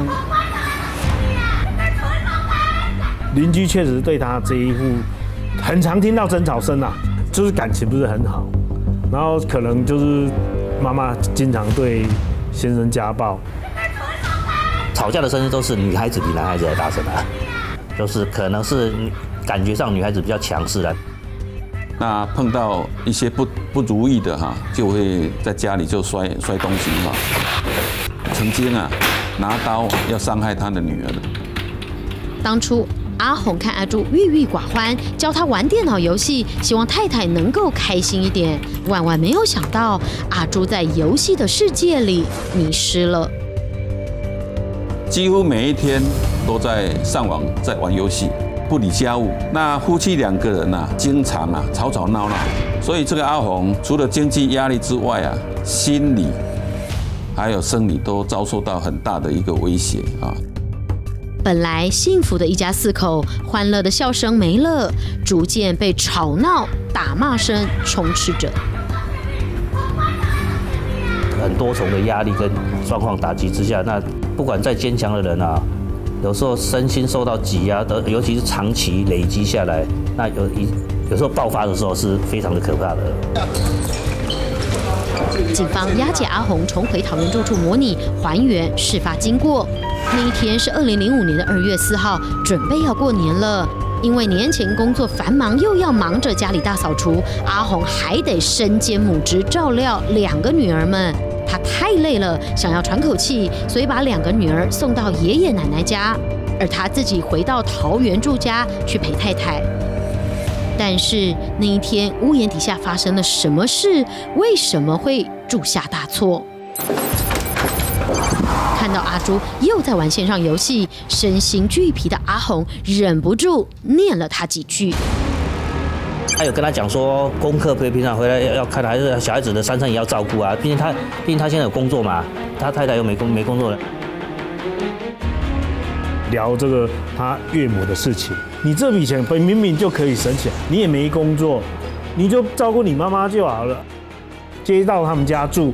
该该付的，你把这看护的钱你省下来，你给你用就好了。骂他说不孝女以后，可能就是这个爆发点吵起来。阿朱非常生气了哈，就打了他一记耳光，而且冲到厨房去拿了一把水果刀哈，做事要要要朝他的头啊还有身体来吃。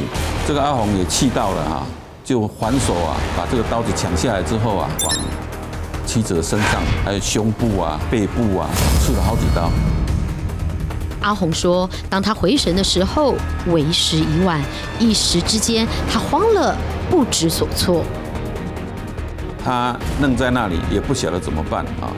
原本有要向警方自首投案，那又想到啊，他如果因为杀人案件去服刑，这两个小孩子变可能会变成孤儿。第一个面对是他，再来他的爸妈。”还有他的岳岳母这一问，最重要一个你不知道怎么处理他，嗯，在当下他又不敢面对，就是他半时好像七八小时。冷静下来之后，他做了最残忍的决定：先到大卖场购买行李箱、黑色大塑胶袋等物品，回家之后对阿朱下手，毁尸灭迹。把阿朱的这个尸体啊，从客厅啊，把它抬到浴室，把头颅啊、四肢把它切下来，大型塑胶袋啊装成尸袋，而且分别丢弃。那当时只想到说，能够逃多久就逃多久，都要想说，小孩子不能没有人照顾嘛。阿红将阿朱的各个身躯部位分成四袋，装上车，从桃园住家离开之后，沿着高速公路一路往南开。桃园的北二高往南，从新竹的竹林交流道下高速公路，在竹东下公馆。刚好垃圾车来，他就一袋东西就随手丢上去了，然后再往下，第二袋丢在头份山猪湖附近的垃圾纸车。怕被人看见，阿红开着车在头份街上乱绕，直到天色渐渐变黑，趁着四下无人，他悄悄把装有阿朱躯干的深蓝色行李袋丢弃在垃圾纸车之后，赶快离开。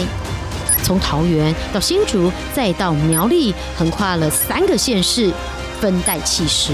我想这个是他有经过很细腻的心思啊，制造警方的啊这个追查断点。回到家之后，阿红若无其事。然而阿朱消失这么多天，女儿们问起妈妈去哪了，她借口是夫妻吵架，太太离家出走了。但是大年初二回娘家的日子，阿红要怎么跟岳母交代阿朱人呢？啊，他回娘家之后，当然他家里人一定会问他说：“那那你你太太啊，或者小孩子的妈妈怎么没有回来啊？”那他先生跟他回答就是说，他跟他吵架，他没有他没有要回来的意思，就这样子啊。他可能可能他娘家也知道他女儿可能有这种精神上的不疾病啊，他就想说可能吵架他就。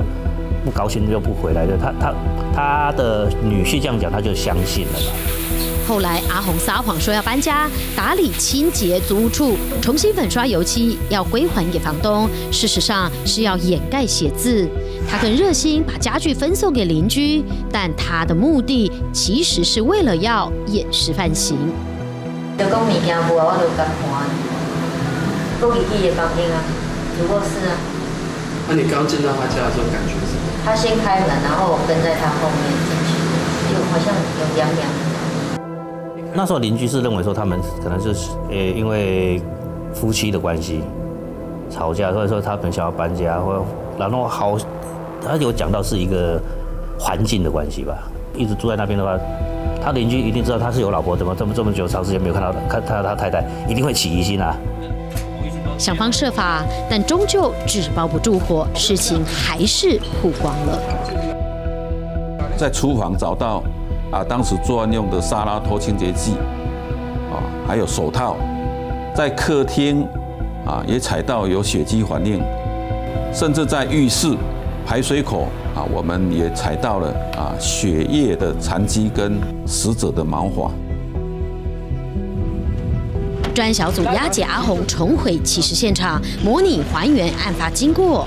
阿红这二十天来压抑的情绪再也忍不住了。对不起，对不起，让他们冲动就好了。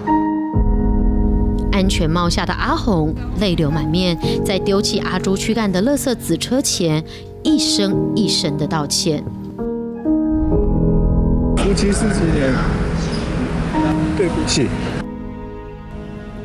那阿红当时非常的懊悔啊，向警方要求在现场要下跪啊，并且持香向死者默念了哈，要求妻子要原谅他哈，因为一时之间。情绪失控才促成大错哈，这个就是当时在这边烧烧纸钱啊。原本的这个阴霾的这个天空啊，突然下了一阵雨啊，这个冥冥中哈，他的妻子也可能感受到啊，阿红啊的忏悔的啊这个眼泪啊。回顾案件，警方觉得似乎冥冥中注定是会水落石出，因为过年到了，大家家家户户都在大扫除啊。所以当时的垃圾纸车已经满了。当时如果说他丢的这个行李袋早一点丢，可能丢到垃圾纸车的底部，那其他的家庭用的垃圾啊啊盖上去之后，没有人发现的，可能这个案子也也破不了。二月四号案发，二月五号案件曝光，到二月二十五号阿红落网，终于破案，揭开真相。然而，却是令人揪心的家庭悲剧。一般人把自己枕边人杀害了，我想到后悔都来不及了，而且也非常的可怕。他竟然还可以将尸体啊肢解开来，而且心思那么缜密啊，又把它分分成四个袋子，分别丢弃。我想这个在他的人格特征上啊是异于常人的。他自己讲到哈说，长时间在婚姻暴力的阴影之下，他自己也有忧郁症。警方调出阿红的就医记录，查看他身上的状况，同时也查访邻居亲友。手上有抓伤啊，就是一般就是女孩子会抓的那种抓痕而已。抓头去撞墙，这是他转述的。用水果刀。可能会丢他犯险，对他拳打脚踢施暴，对她老公讲说要带她女儿去死一起死，要杀她老公。女儿说她爸爸是一个好爸爸，小孩子对她是还蛮蛮尊敬，也是蛮蛮太爱她爸爸，反正是对她妈妈有有一点点抱怨，也会对他们大小声啊，那那可能就是讲的比较偏激的话了，比较偏激的话就是说大家去死一死就好了。当天他来来戴维亚的时候，那两个女儿一直要说要来看他爸爸，就抱他，跟他爸爸拥抱，他爸爸也是跟他抱，那那应该是这样，那种画面蛮温馨的，但是很很对，很感伤啊。他一手就抱住那两个女儿，就是啊一下就泪流下来。我最记得就是说他对不起他两个女儿，他用错这个方式。但是他会面去面对法法律的制裁。他两个女儿其实后来看好像都不不会责备他，也没有责怪他爸爸。他们家是是他爸爸在支撑的。他认为说，毕竟他就他也是毁了一条人命。他讲说他也不应该去这么冲动，他也很很后悔。那再加上他对不，他认为说他得对不起他的那个娘家。毕竟一个女孩女儿交给你，就算再怎么不好。顶多双方讲好了，该离婚就该离一离就离，不应该下手这么的那个凶狠。他对他所做的事情，他真真的有有在忏悔。他当时只要再稍微忍耐一下的话，可能这一些所谓的大风大浪就会过去。家庭悲剧来龙去脉理清了，但是阿朱的头颅跟四肢有机会能找回来吗？警方不放弃，大批人马前往垃圾场搜找，同时出动怪手跟搜救犬开挖垃圾山。过年期间哈，这个垃圾量非常的多哈，太多了，也协请当地的这个救难协会哈，五只搜救犬去找了好几天。过年前很多上百吨，它不止百吨，有翻到一些疑似的，但是后来有把它拉起来看，警犬去处理啊，去闻啊，但是闻到是有尸体，但是不是人的尸体，是其他的尸体，是动物的尸体。那乐色场工作人员说，有可能他们倒下去之后，一直覆盖，一直覆盖，你完全都挖挖不到，然后有可能一些已经也被焚烧掉了，头、手、脚。完全都没有找到，这个就是本案里面最大的一个遗憾点。这起苗栗梧桐女士命案在破案的当天，正好是案件曝光之后的第二十天，跟女记者当时帮警方测字的结果不谋而合。而整起的案件当中，还有什么状况是让办案的警方都感觉到不可思议的？你怎么跟他讲？回顾苗栗女子分尸案，冥冥中有许多的不可思议。原警吴昌进是案件的承办人，侦办期间他做了一个梦。啊，我们的有一位这个吴姓的远警哦，他梦到了一位女生啊，但是她的长相是比较模糊的，但是他有看到她哈穿了一身的和服，和服啦，还有绣了这个哈一朵蓝色的这个花朵。远景的哈啊，到这个案子快要破的时间点了哈，到到了这个啊死者的家中哦，一打开这个他的家的这个房间一看，哇，看到了一张哈这个我们死者的这个沙龙照，那张沙龙照呢，就是他梦境的那个那一个样子，所以就觉得真的是啧啧称奇。或许是被害人想协助警方。梦境中女子曾说要往北查，那时警方不理解为什么，但却跟神明的指示不谋而合。还记得专案小组叶姓元景的哥哥去苗栗的一间公庙求神问卜，得到也是往北的指引。事后来看，躯干在苗栗投份发现，但凶嫌是在桃园犯案被抓。地缘关系来看，的确是在北方。只不过当时苗栗公庙的神明为何是指点警方要去新竹的都城隍庙来拜拜呢？往北走出是当然，我们都知道这个找新竹的都城王爷了。日据时代，我们这个新竹的都城王爷哈，他是掌管包括啊这个北桃园，还有南桃园，还有我们的苗栗。一般这么重大的、这么重大的这个哈啊这个刑案，我们当然就是要求关节比较大一点的城隍爷来帮忙，这样子哈啊这个案情要破案的这个机会会比较的快，也会比较大。当时案发第十九天了，警方锁定监视器拍下的可疑男子，但一度没办法确认身份。专案小组到了新竹的城隍庙去拜拜，祈求顺利破案。我在求这个神明帮忙，然后也是圣杯哈，这个呃城隍爷就冥冥之中可能就是答应说，要帮忙把这个案子尽速来破案。隔天，警方就抓到凶手，实在是太巧合了。还记得女记者帮刑事组长测字，苦字预测二十天，警察就会开口笑吗？你如果写快一点，这可能会粘粘在一起的。当你粘在一起的时候，对对，就感觉是二十二二十天嘛。哎，真的是二十天，啊，这真的冥冥之中。阿红因为长期遭到妻子阿朱的家暴。情绪失控之下，冲动了，犯下了凶残的杀妻分尸案。警方感慨说，就像是之前的邓汝文杀夫案的翻版，都是因为家暴酿成的悲剧。而阿红她的两个女儿，在开庭的时候的一个举动，对法官的判决出现了关键性的影响。他的两个女儿做了什么事呢？署名给吴老师的一封信，内容提到入所一个多月，内心已经相当平静，也对警察不眠不休的辛劳感到非常的抱歉。他满满的愧疚，说很对不起，我造成我们困扰，让我们没办法过农历新年。第二个，他好像我印象中，他还是说做错这件事，就是他那最后他只能说接面对接受法律的制裁。一审判刑十二年，检察官认为轻判，提起上诉。二审判决十五年，后来案子定验。情理法的权衡，关键在于法官考量他犯案时精神好弱，加上女儿们的一个举动。女儿去做这的时候，他跟法官要求说，他想跟抱他爸爸。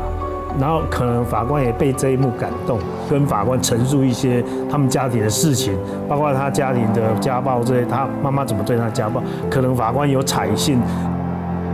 后来他的娘家也选择原谅，他也选择原谅他，因为娘家可能也知道说这个事事情的发生，当然不是就是单方面，他的女婿就不是什么穷凶恶极之人了。阿红杀妻的悲剧，让警方想起过去的邓如文杀夫案，两起案件如出一辙。邓如文杀夫案是他先生对太太的家暴，那相反的过来讲，栋梁动物分尸案认为是先生是受害者，太太是施暴者，就是一个共同点，就是同样都是家暴。如果这个案子阿红跟阿朱有求助于啊家暴中心的一个一三的啊协助，我想应该就没有啊发生这个憾事的这个这个状况。欢迎收看《台湾启示录》，我是梅翔。警察办案是讲究科学证据的，不过在许多案件的侦办的过程当中，也的的确确出现了很多不可思议的巧合。如果不是冥冥中的某种力量的指引，有些真相恐怕是不会水落石出的。今天我们要带您回顾这起案件，它是发生在二零零七年。当年的承办员警告诉我们，他办了三十多年的案子，他没有遇过这么多无法解释的灵异现象。首先是命案的曝光，这地点是在。嘉义义竹乡的这一处甘蔗园，他说这里平常是人烟稀少，根本不会有人进来的。就算发生了什么事情，所以外界恐怕也不会知道。偏偏这一天，这位外地来的王先生，他想要走捷径，不知道为什么他车子就这样开进来了。然后他看到路旁停了一台摩托车，他想说附近应该有人，所以他就想下车去问路。没有想到，竟然看到了一具焦尸，他吓得赶紧报警。警方赶到现场之后，要确认死者身份，这是侦办命案最重要的关键。但是死者的面容烧毁严重，只能够确定应该是一名女子，而在现场也没有找到其他的身份证件。不过就在这一片烧黑的灰烬当中，他们发现了一只手机，这手机的外壳已经烧得焦黑了。警方赶快把这里头的 SIM 卡拿出来一看，但是心也凉了，因为这张 SIM 卡也被烧毁变形了。但是警方不放弃。抱着姑且一试的心态，就把这张 SIM 卡插进了一个警察的手机，试试看。没想到才刚开机，一通电话就打进来了，是谁呢？放眼望去，一片绿油油甘蔗林，这里是嘉义县的义竹乡。这个路其实就是开修的时候有咧行，就是拢迄个海收的迄个大货车啊，就迄个重机械才会走。平常这种排场的那个道路，一般人是不会进的。啊，迄，刚迄个人来来吼。对啊。这就是冥冥之中袂输，那是要指要指引伊去发现啊来报案安尼啊。多年后，办案刑警重回现场，这起甘蔗园女教师案说也玄奇。原来，据传案发之后不断发生灵异状况，像是灰蓝色的犯案车辆，不只是一个人，总是在车辆的周边闻到一股浓浓的味道。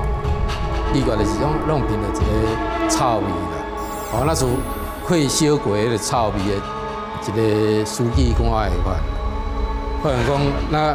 阿彪对一个查查某的安尼。啊，身体甲阿要是要信要死。啊，你看从这样来说，应该是因果产生的。哦，啊，这个物件就是你无做的时候是安那安稳的，会一直甲你对调的。我当刑警已经三十年了，这个案子是我遇过哈，就是其中就是冥冥之中有一些很不可思议的那个情景，是最多的来。本来人车都嫌少的甘蔗园，但二零零七年三月八号这一天，外地来的王先生从没来过这里，他却开着车一路往甘蔗园前进。这四个人灯哦，这是规个拢海棠咧种甘蔗的甘蔗园，拢碎掉咯。原来是想超捷径，他环顾了四周，要找人问路，看见旁边有一辆机车。我就只要停一条红色油的吧，以前我这是在地啦，要交我咁，路这个路是不是我一步就对一条。顺这条路就行入去，哦啊行入去，他行到百货公司的时阵，哦啊闻到味，讲啊奇怪是什么味啊？那臭毛毛的，讲哎呦啊那，一个那是人的种那个形状的。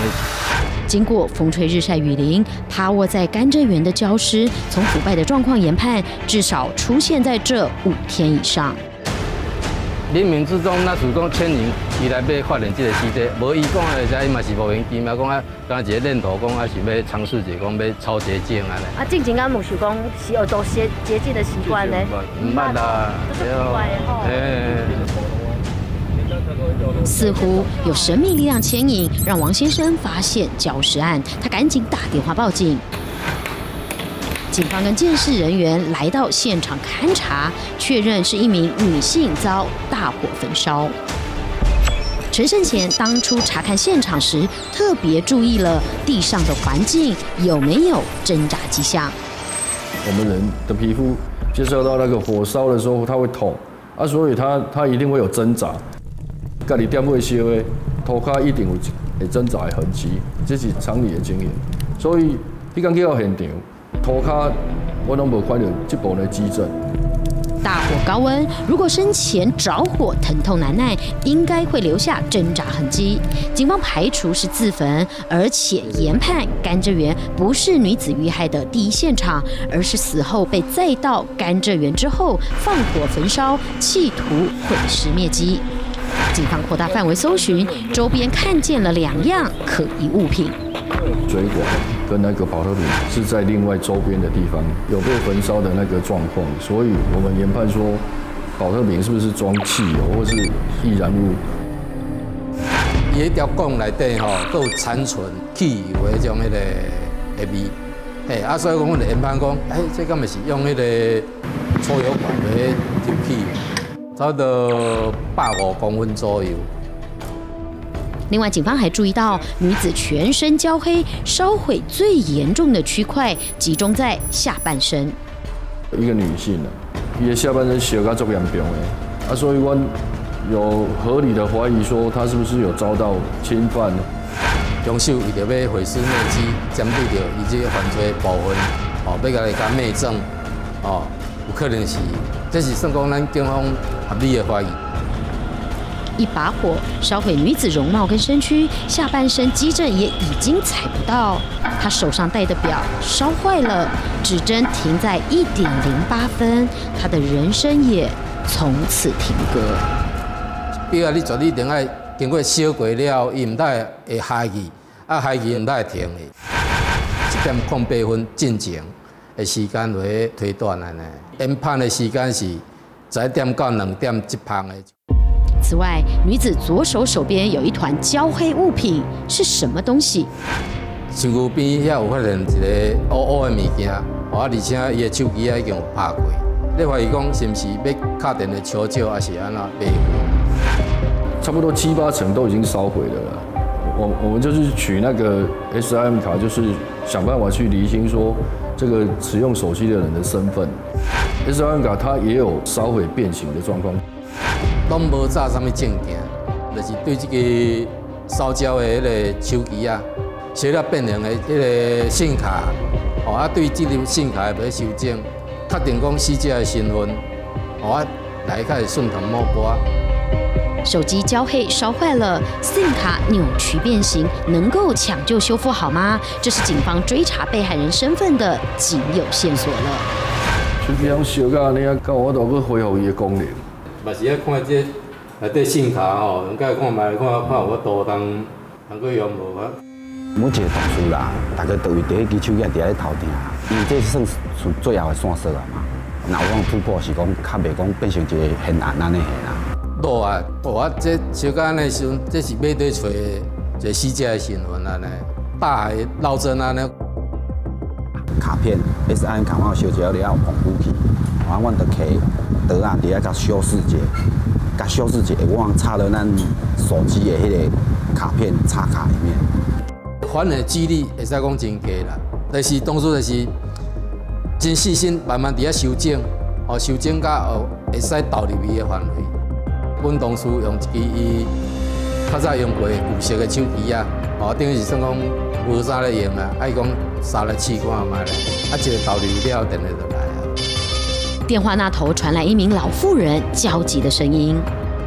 听到有有人咧用的时阵，一定开始一定追问啊，看你接电话啊，是种迄落的啊啊，阮祖囝到底人伫对？警方告诉老妇人，手机是在嘉义义竹乡的甘蔗园女教师身旁看到的。听到这里，老妇人更是焦急。她说：“女儿失联超过一星期了。”伊讲，迄个二月二八，哦，透早就出门啦，啊，心情就是歹，啊，讲要叫人出去行行，哦，请因过来这边，哦，先初步先先认识。老妈妈心情沉重，悲痛指认，确认了女教师身上的物品就是她的女儿阿汝的。对伊的一寡特征，就是手表啊、啊手机啊，兼伊身躯在锁匙。哦，连班讲啊，这肯定就是因祖亲。阿汝的妈妈说，女儿二月二十八号那天早上接了一通电话，说跟朋友有约要去散散心。从台南住家出门之后，三月八号却成了一具焦尸，沉尸在嘉义的甘蔗园。奇怪的是，阿如跟嘉义没有地缘关系，家人也说没有亲戚朋友住在嘉义，不晓得阿如为什么无缘无故去嘉义，甚至没了命。爱查伊的 DNA，哦，来做一个比对，确定是死者阿如。台南、嘉义串起来了，两地警方都要想办法，赶紧找出真相，帮阿如伸张冤屈。加入台湾启示录的会员，每周独享频道特别计划，和我一块翻阅记者秘密档案。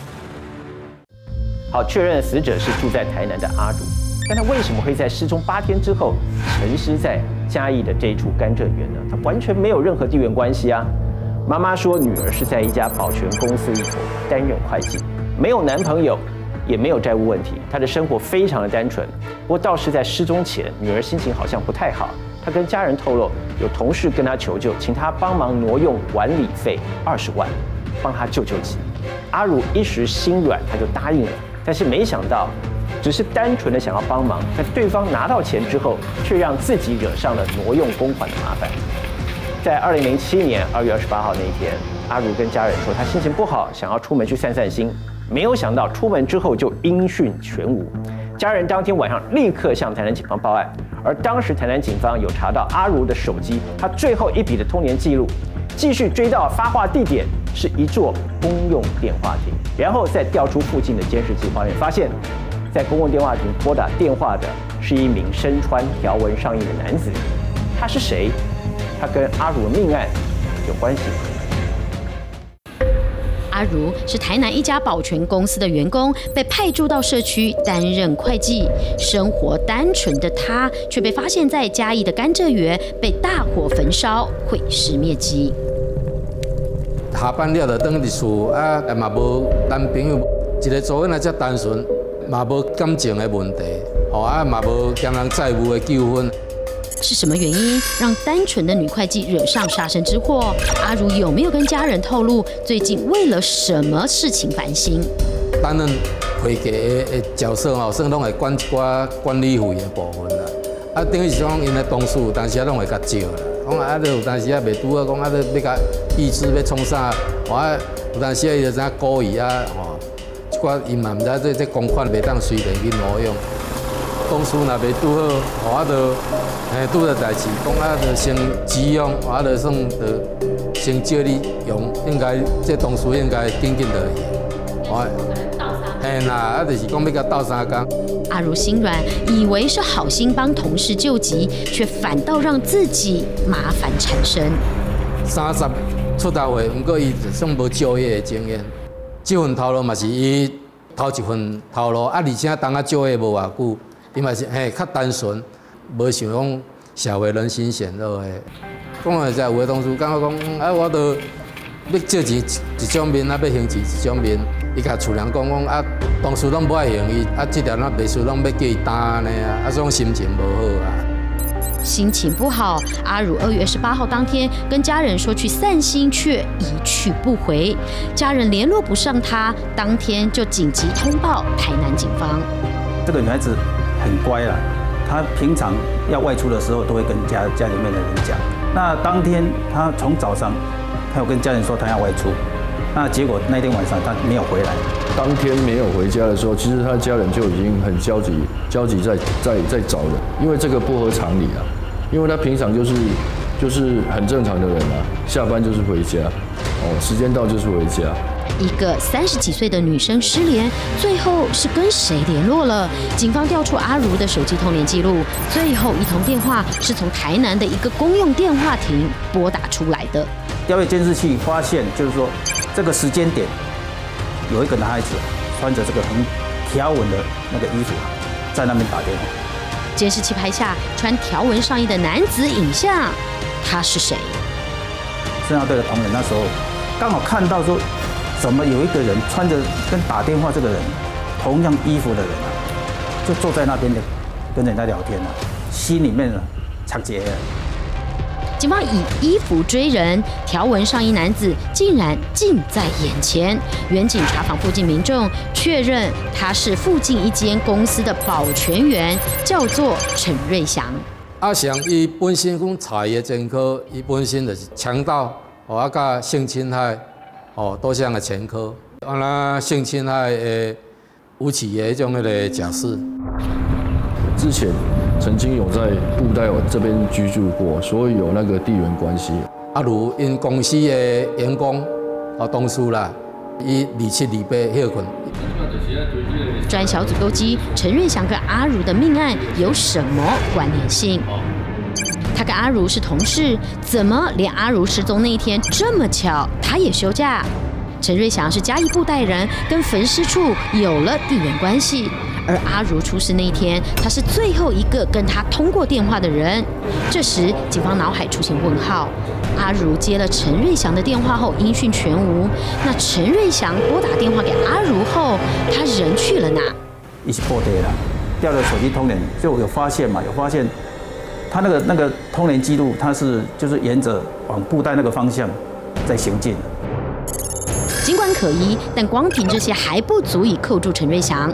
另一头，嘉义警方过滤焚尸甘蔗园周边的监视器画面，还记得报案人在甘蔗园旁看见了一辆红色机车吗？那一辆机车是谁的？等于是算机啊做工课的工啊，哎，这个工啊，伊嘛无发现讲啥物异状，诶，无嫌疑，啊，阮就甲排除啊。警方继续一个路口一个路口画面分析，发现这一辆灰蓝色的车辆很诡异。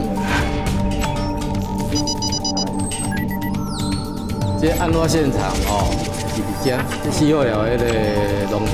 阮伫案发现场调伊个监视器的加十二线、甲台十九线，阮有发现一台灰色修理车，哦，这架车伫遮迂回逃了三四遍。哎，伊话这架车真可疑。来来回回应该到三四次，啊，就是伫遐开过开转来，伫遐迂回，是啊，这架车是安那会安尼开来开去，开来开去，啊，而且个是伫案发地的周围。可疑的灰蓝色车辆，警方锁定车型车号，扩大范围调阅，每一个路口画面过滤，发现这辆车二月二十八号当天早上就已经出现在嘉义，不断在焚尸的甘蔗园周边绕来绕去。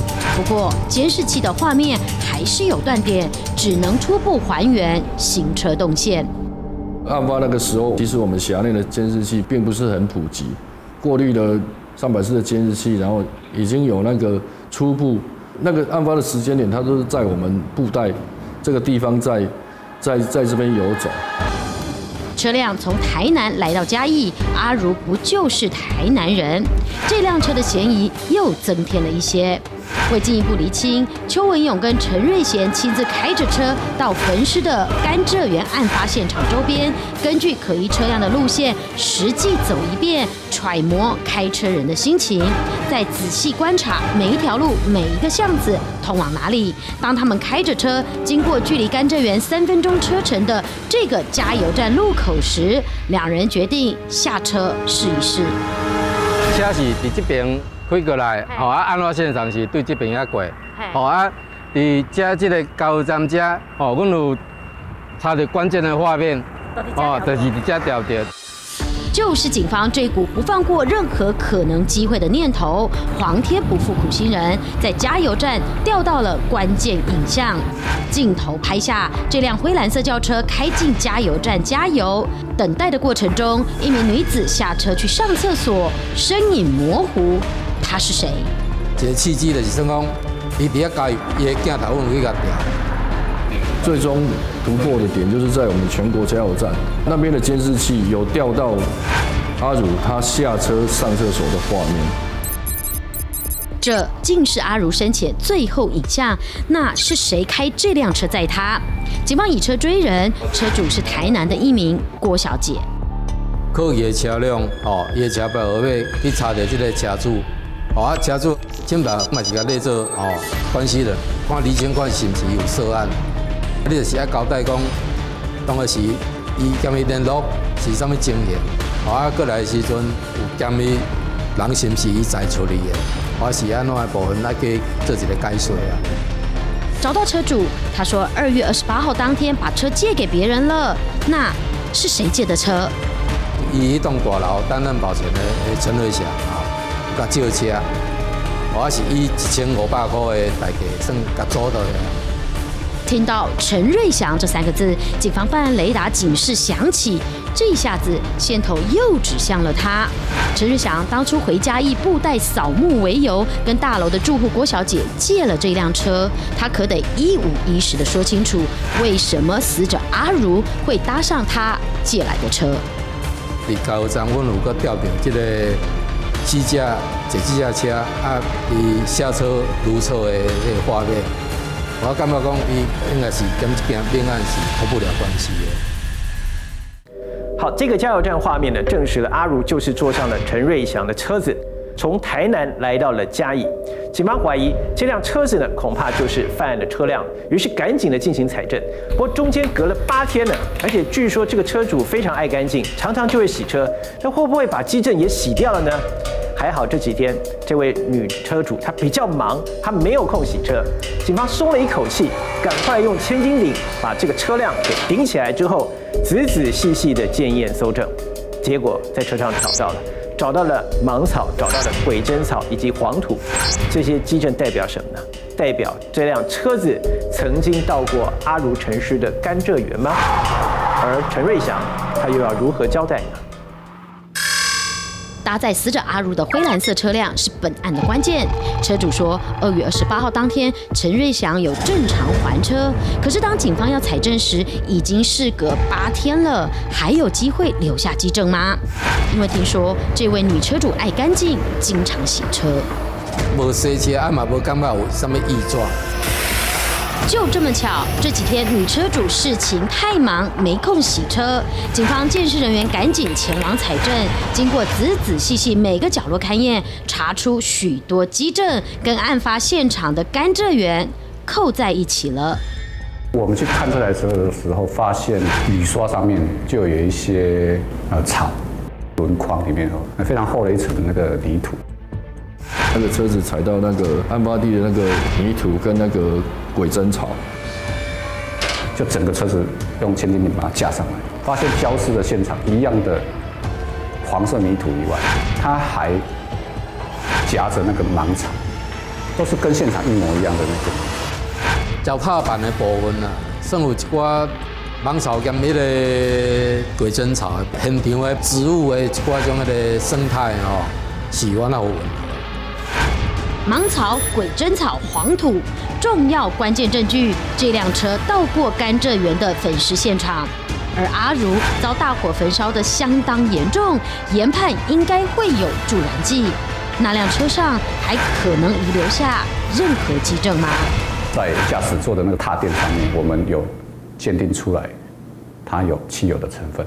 卡有落掉，有落掉啊，落掉挂头。有含含那个汽油的成分。案子办到这，陈瑞祥的涉案程度又在往上提升。警方找到他的时候，陈瑞祥说，当天车子的确是他开的，没有借给别人。然而他交代出来的行踪跟警方查证结果完全不同。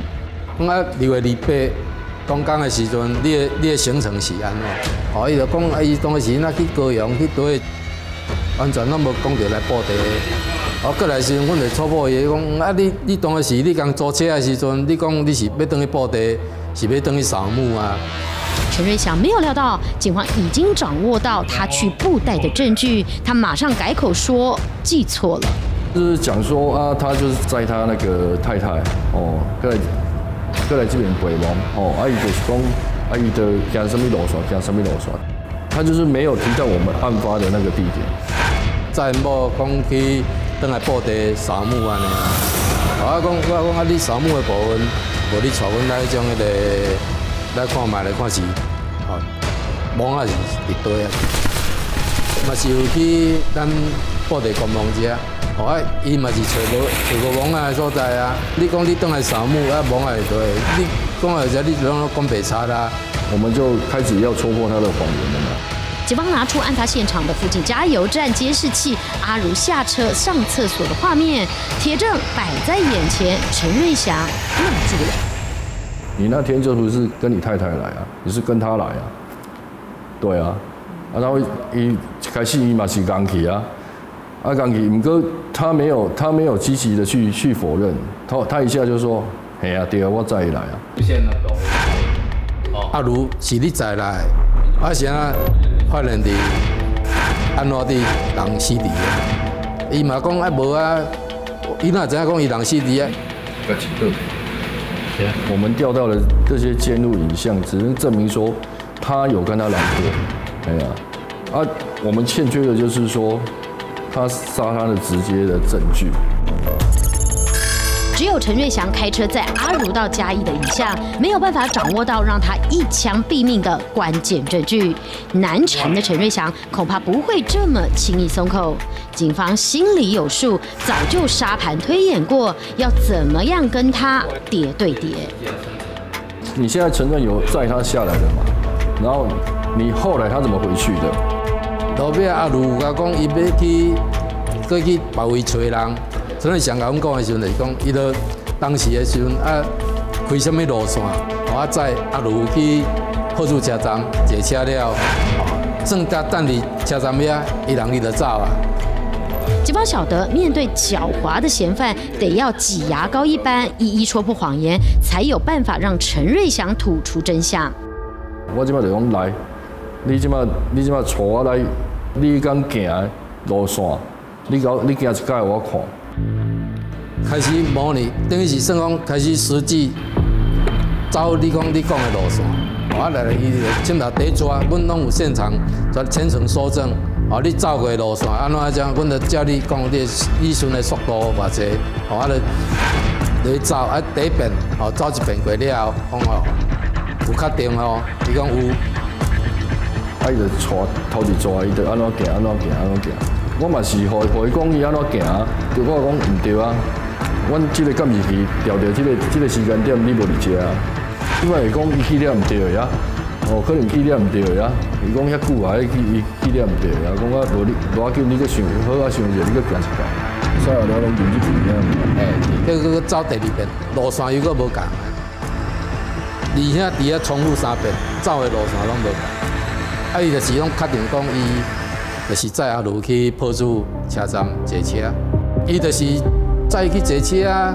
哦啊，讲会知啊，你若毋是无法来法度。陈瑞祥跟警方缠斗，但警方也不是省油的灯，拿证据打脸他。过来同边一边的时阵，讲来你注意看，你讲你走的路线，啊来，阮有必要看，讲沿途的一寡监视器的部分来讲，这地有一支，这对一支。镜头看的时阵，伊头壳嘛冒咧烧呢，伊伫遐感觉真惊讶，讲哎呀，伊讲的时阵，他会。拢拢有监视器，而且伊讲的时间、时间点根本就无即只车通过。伊嘛家己感觉讲，伫遐查无站啊，伫遐讲啊是啊，啊即只规个思绪伊的规个剧本哦，拢拍乱去啊！拍乱去了，无法度当回答阮啊！伊时阵伊已经背对做重大嫌疑的一本，已经有叫我哋个裁定收押证件。相对的，我们就是他老婆的部分。其实我们另外一组人也是也是已经做突破了。我们告诉他，你你这样子可能会涉及到伪证。啊，所以他老婆他也讲的就是他叫他要这样子讲的。他就是有有在刻意的在掩盖一些事情，所以我们当时认为就是他的涉案程度已经很高了。伊就是所谓释放，伊还去讲十个比赛来来弥补这个这个谎。啊，无法度讲的时阵，伊过就是过拢偌年，偌年了后，伊讲讲讲，啊无吼，你后一遍，甲我招出来的时阵，我会互恁一个满意的答案。盘算的时阵就是，伊啊，伊咧想讲，看要安尼较轻的罪名咧认罪啊。因为这死者，伊的死绝对一定跟陈瑞祥一定有关联的，也脱不了干系。这死绝对一定是陈瑞祥做成，伊就是要安怎去。自圆其说，要他想想好伊要认罪的剧本啊。好，尽管一个个谎言被警方戳破了，但是狡猾的陈瑞祥他依旧没有松口。他说，下次警方从看守所把他借题出来的时候，他一定会给个交代。真是如此吗？我们来看看那天警方把人带出来了，就在前往甘蔗园命案现场路上，有个警察突然问了一个关键问题。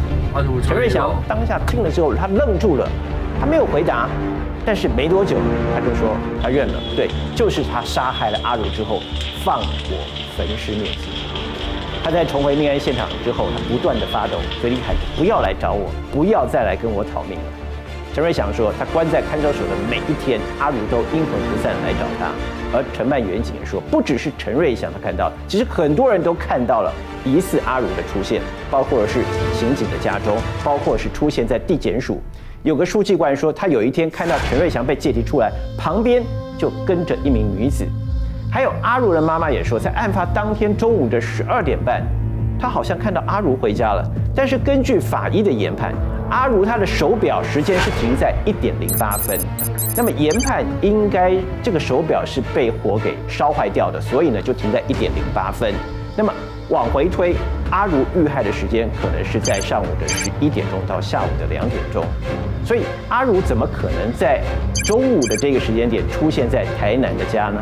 除了疑似看到阿如的身影之外，很多人也都闻到了一股味道，包括是女车主还有大楼警卫，他们都说在犯案的车辆上面闻到了一股挥之不去烧焦的火焰味。但奇怪的是，这辆车子好好的，没有火烧的痕迹啊。承办员警说，他办了三十多年的案子，真的是第一次感受到这么强烈。这是被害人在冥冥之中逼着凶手俯首认罪吧？警方从看守所将陈瑞祥接提出来，就在快靠近案发地的甘蔗园时，陈胜贤闪过一个念头。阿如追你吧。一句“阿如有去找你吗？”击破陈瑞祥坚固的心房。伊就小可也一条，啊，佮硬硬硬的，伊是迄种感觉，有惊到。哦，啊，佮来，佮来，伊就点点啊。伊嘛无讲有，嘛无讲无。哦，啊，毋过我就感觉讲，诶。可能是真正真正有找你迄种感觉，我就直接甲问讲，你用什么甲烧的？啊，伊就顿地一个了，伊尾就是讲，好啦，我我要讲啊，伊就讲我要讲啊，伊讲伊就是用笔记数讲去车抽油料，缀咧保特瓶，啊用保特瓶倒来烧的。他招了，但所言属实吗？警方押解陈瑞祥回到住家，起出证物，包含事发当天穿的衣服，还有抽油管以及打火机。他他的穿着的衣服就是有沾染到，就是像车上那个鬼针草那个血，还有那个就是我们现场的那个泥土。还记得陈瑞祥当时借来的灰蓝色车辆，警方采证时，在车上找到了芒草、鬼针草以及车轮上黄土。比对一下，陈瑞祥当天穿的衣服上留下了鬼针草，鞋子上的泥土也跟甘蔗园的黄土相对吻合。他可能比较好心，有借一些社社区的钱啊，然后现在就是要补回来。这个阿祥，他就主动去找他说，他他可以带他过来布在这边找朋友帮他解决这个问题，好，然后就是用这个用这个借口把他把他骗下来。陈瑞祥开着借来的灰蓝色车，一路从台南开往嘉义。他说，路途中两人起了争执。像这个阿鲁，他在借钱，因为他他有一笔那个动产担保交易的那个那个案子。哦，如果没有去缴这些罚金的话，可能他他会撤销他的假释。阿汝已经担心借出去的大楼管理费公款讨不回来，陈瑞祥又开口跟他借钱，他怎么可能会答应？全部的假释来去撤销，我是将大楼的一寡住户大概了解，以免啊对生存在头路嘛免接啊。啊，所以讲安尼部分起争执了，无小心撞死。当时伊车是拄捌去吼，啊拄到车的时阵，感觉这台车也算较偏僻，啊就从尸体吼搬来放伫这个位置遮，吼啊就用迄个汽油管吼抽着汽油，吼啊来淋着这尸体甲甲焚毁安尼。然而，这都是陈瑞祥单方面说辞。不过，他认了勒比阿如之后，把人载到偏僻的甘蔗园，一把火，企图烧毁所有基证。重回现场时，他吓得直发抖。他到现场就是双手合十，然后头都低低的，嘿，然后然后就是跟那个死者道歉。从发生到到破案，逐工拢做噩梦，就是讲即个哦，迄个死者阿鲁拢要找伊讨命啊，双手合掌，哦啊会抓，非常久会抓，就是讲啊，反正啊就是啊，哦，莫搁莫搁来找我啊，啊我莫搁来甲我讨命，是讲啊，歹势死咧，啊无人来来甲顶死安怎？原来，据传案发之后，不断发生灵异状况，像是灰蓝色的犯案车辆，不只是一个人，总是在车辆的周边闻到一股浓浓的味道。他们那个地下室就是有一个类似类似那个警卫室啊，然后车子都会车子就会从从那个前面经过啊，它也不是距离很近的，就是就是进到车子去闻，不是，都是经过的时候。但是啊，就是奇怪的是，弄弄变了一个臭味。哦，那种会烧过的臭味的，他就会闻到那个烧焦的味道，包括那个原车主，他也说每次开这台车的时候，就会就会就会有有一个有一个觉得有一个烧焦的味道。两个人不约而同都闻到了车子有烧焦的火焰味。更奇怪的是，车子里里外外完好，没有任何被大火烧过的痕迹。尸体存放的位置跟那个车子可以进到的地方差不多，还相隔差不多一百五十公尺，基本上根本不会有不会有那个车子会有会有烧烧到那个迹象。靠近这辆车，总是闻到一股烧焦火焰味，挥之不去。怎么会有这股味道？没有科学解释。不只是犯案车辆，就连陈瑞祥被移送到地检署接受检察官复讯时，法警跟书记官也同时都闻到了那股味道。一进入到地检署，书记官跟那个法警，哦，当那个阿祥他进入那个法庭的时候，他就闻到。闻到一股很重的那个烧焦味跟那个尸臭味，啊，直到直到说他们开庭结束之后，那个阿祥离开了之后，这个味道才慢慢，哎，慢慢慢慢消散。就跟着他的就，对了？是。陈瑞祥身上散发出味道很重的烧焦味之外，有人看到了，怎么他的身边多了另一个他？一个书记官的话。可能讲，那阿彪对一个查查某的安尼。阿形体甲阿伦。要是要信要信，一个形啊，互你感觉到阿彪对一个查某迄种迄个，哎，嘛无感觉讲什么款的一寡种，啊，感觉讲，因为当时的时阵要搁注意看的时阵就无一样。味是臭火熏味，等于是汽油味、烧过的臭火熏味安尼啦。哎，啊，你看从这安尼时阵，应该是烟鬼产生的。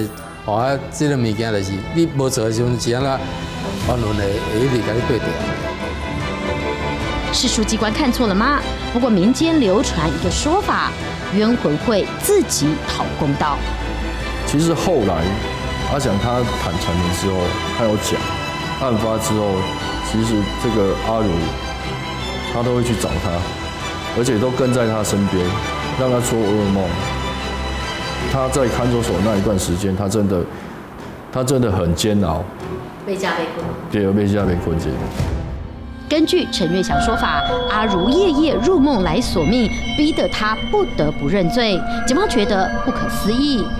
而谈到冤魂现身，还不止一个人看见。因为这个车主因为这件代志过了，什么代志拢未顺啊。啊，未顺的部分吼，伊有去一间宫庙吼，要去收惊啦，要去祭改啊。迄，内底诶师傅甲讲，伊讲你车顶那有一个查某诶啊，伊条魂吼全吊伫车顶，我都当去投胎啊呢，真真哀怨啦，等于是算讲啊，个真落寞迄种迄个，啊，因为毕竟人好好啊，叫叫害死啊呢，嘿，嘛是真真伤心啊呢。当初陈瑞祥痛下毒手，让阿如在车上没了气息，之后再到甘蔗园放火焚烧，阿如好好的一条命就这样被无情的终结了，他的冤屈和怨恨难消，而阿如的妈妈也感受到难以解释状况。事发的二月二十八号早上十点五十分左右，命案现场的嘉义甘蔗园附近加油站拍到阿如最后身影，手表停格在一点零八分。检警推测死亡时间就是在这个区间，但阿如的妈妈语出惊人。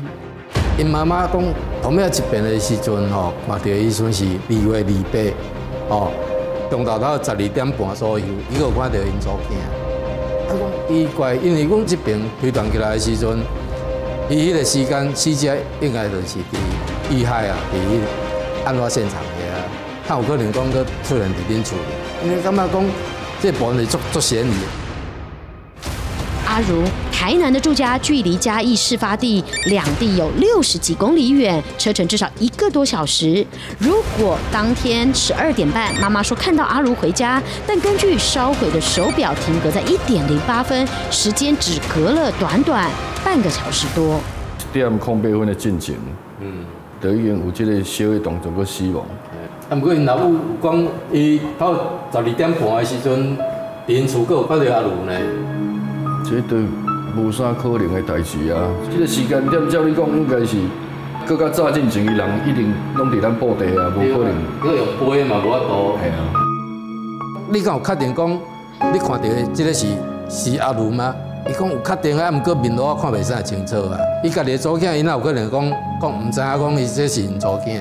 只是讲看到时阵，你甲叫的时阵，拢无啥咧应。我就讲啊，你是毋是迄个时，是毋是早还是早日？你是毋是迄个，是毋是即天的早还是早日？你是毋是时间去纪念毋对？啊，毋过伊妈妈就表示讲无。嘿，就是就是伊讲伊中昼够够得来。他讲的就是那一天他女儿回来，他也是就是瞥见而已，然后就他就直接进到他的房间，他就很确定说他他女儿有回来过。回顾整起案子悬奇的过程，陈胜贤至今留下深刻印象。我当刑警已经三十年了了，这个案子是我遇过哈，就是其中就是冥冥之中有一些很不可思议的那个情景，是最多的了，而且都是不同的人，类似现场的情境是是差不多讲的都是一样的，就是烧焦的味道，真的很悬。好，这起甘蔗园女教师命案悬奇的经过让警方啧啧称奇。从案发开始，阿如的家人以及警方，他们都遇到了难以解释的现象。当时，阮联合专案小组内底，也是新闻大队的一个队长，别人等伊的时阵，咧困的时阵，讲奇怪，那便所那那有人，哦啊啊，而且。都有人咧使用冲水的声音，啊起来看的时候，哎，那看到讲，一个走起来，过来面看袂啥清楚，啊过来要搁啊看的时候就无伊啦，面貌拢有一个大概的的雏形啊，啊所以讲伊联想到就讲，哎，讲阮正在处理着一件案件，我啊搁我看到安尼时阵是毋是？哦，这个应该就是死者来，哦来要来申冤。鬼魂甲咱人其实应该嘛拢差不多。伊既然去用还是伊嘛是想要报仇啊，嘛是想要讨命啊。啊，只是讲伊都无迄个能力，通去达到讲伊要爱的要求。啊，所以讲伊就要透过阮警方后去破案，开当伊伸冤讨回他的公道啊。经过一件过了，就不过听伊讲，搁搁去找伊。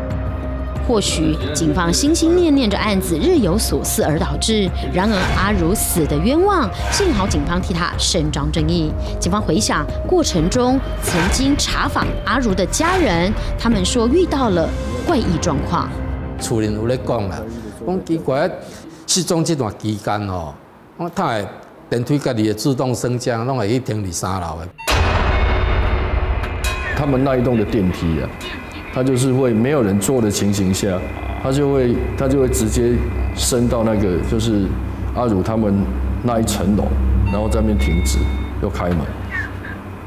他说他们的电梯常常那他们那一栋的电梯常常会发生这种情形。这嘛是算真神奇的物件啦。啊破破完了够吗？破完了的。说也奇怪，玄奇的状况抓到凶手之后就再也没发生，而陈瑞祥被判无期徒刑入监服刑，以为事情告一段落，没有想到一年多后，我们就认为说这样的一个故事就结束。其实不然，后面还发生了一连串，也是很可怕的事情，跟这个涉嫌人有关系。这是我们当初后面发生的案子以后，我们说没有料想到。好，陈瑞祥他被判处了无期徒刑，但奇怪的是，在一年多后，台南发生了一起强盗案件，警方在现场找到了一个口罩，怀疑是戴不戴过的。经过 DNA 的检验之后，发现这个人竟然是陈瑞祥，但他不是关在监狱里头吗？他怎么可能再度跑出来犯案呢？台南一名女子准备去开车，遇到歹徒持刀行抢，被害人奋力抵抗，嫌犯抢了钱就跑，女子赶快报警。歹徒好像曾经拿一个胶带要封他的口鼻，被害人被打得头破血流，了蛮多血在的车子上面。我们在后车座的那个夹缝里面，哎，找出了一块那个土黄色的胶带。除了犯案胶带，警方在周边捡到了一个口罩，附近民众都说不是他们的，怀疑是歹徒所留下。DNA 检验出炉，怎么会是他？猜到讲伊戴的口罩，我根据口罩部分去猜到 DNA 来比对，可以锁定这个嫌疑人陈瑞祥。那，时阵人是啊，伫感觉内底，那有可能讲去出来犯案。这个名字在跳出来的时候。我第一个想法是说，怎么可能？是不是弄错了？是不是要再求证一下？罗患膀胱癌要出来保外就医，他怎样讲？法人讲，哎哦啊，如果保外就医，竟然个我都当出来犯案。警方上门抓人，陈瑞祥病恹恹，还有办法犯案吗？警方得小心查证，搜索后查扣关键证物。那个胶带，我们拿出来一比对，发现他的。宽度、纹路、颜色，这是一模一样。那当时因为他极力抵抗，那所以可能那块胶带就被撕下来，然后掉落在那个夹缝里面。家里找到的这捆胶带上面还发现了一些微小的血迹。我们经过 DNA 鉴定，证实了这个血迹就来自于来报案的这个被害人。陈瑞祥当初强盗性侵案无期徒刑假释期间，犯下了阿如的粉饰命案，判无期徒刑坐牢。因为癌症保外就医，他竟然又再犯案，再度进监牢，就再也没踏出来了。是双方的转癌症病发啊死亡，我这嘛是应该得到个报应啦。我你作奸犯科，当然那有可能讲。然后公天理昭彰？感谢您收看今天的《台湾启示录》，我是梅祥，我们再会了。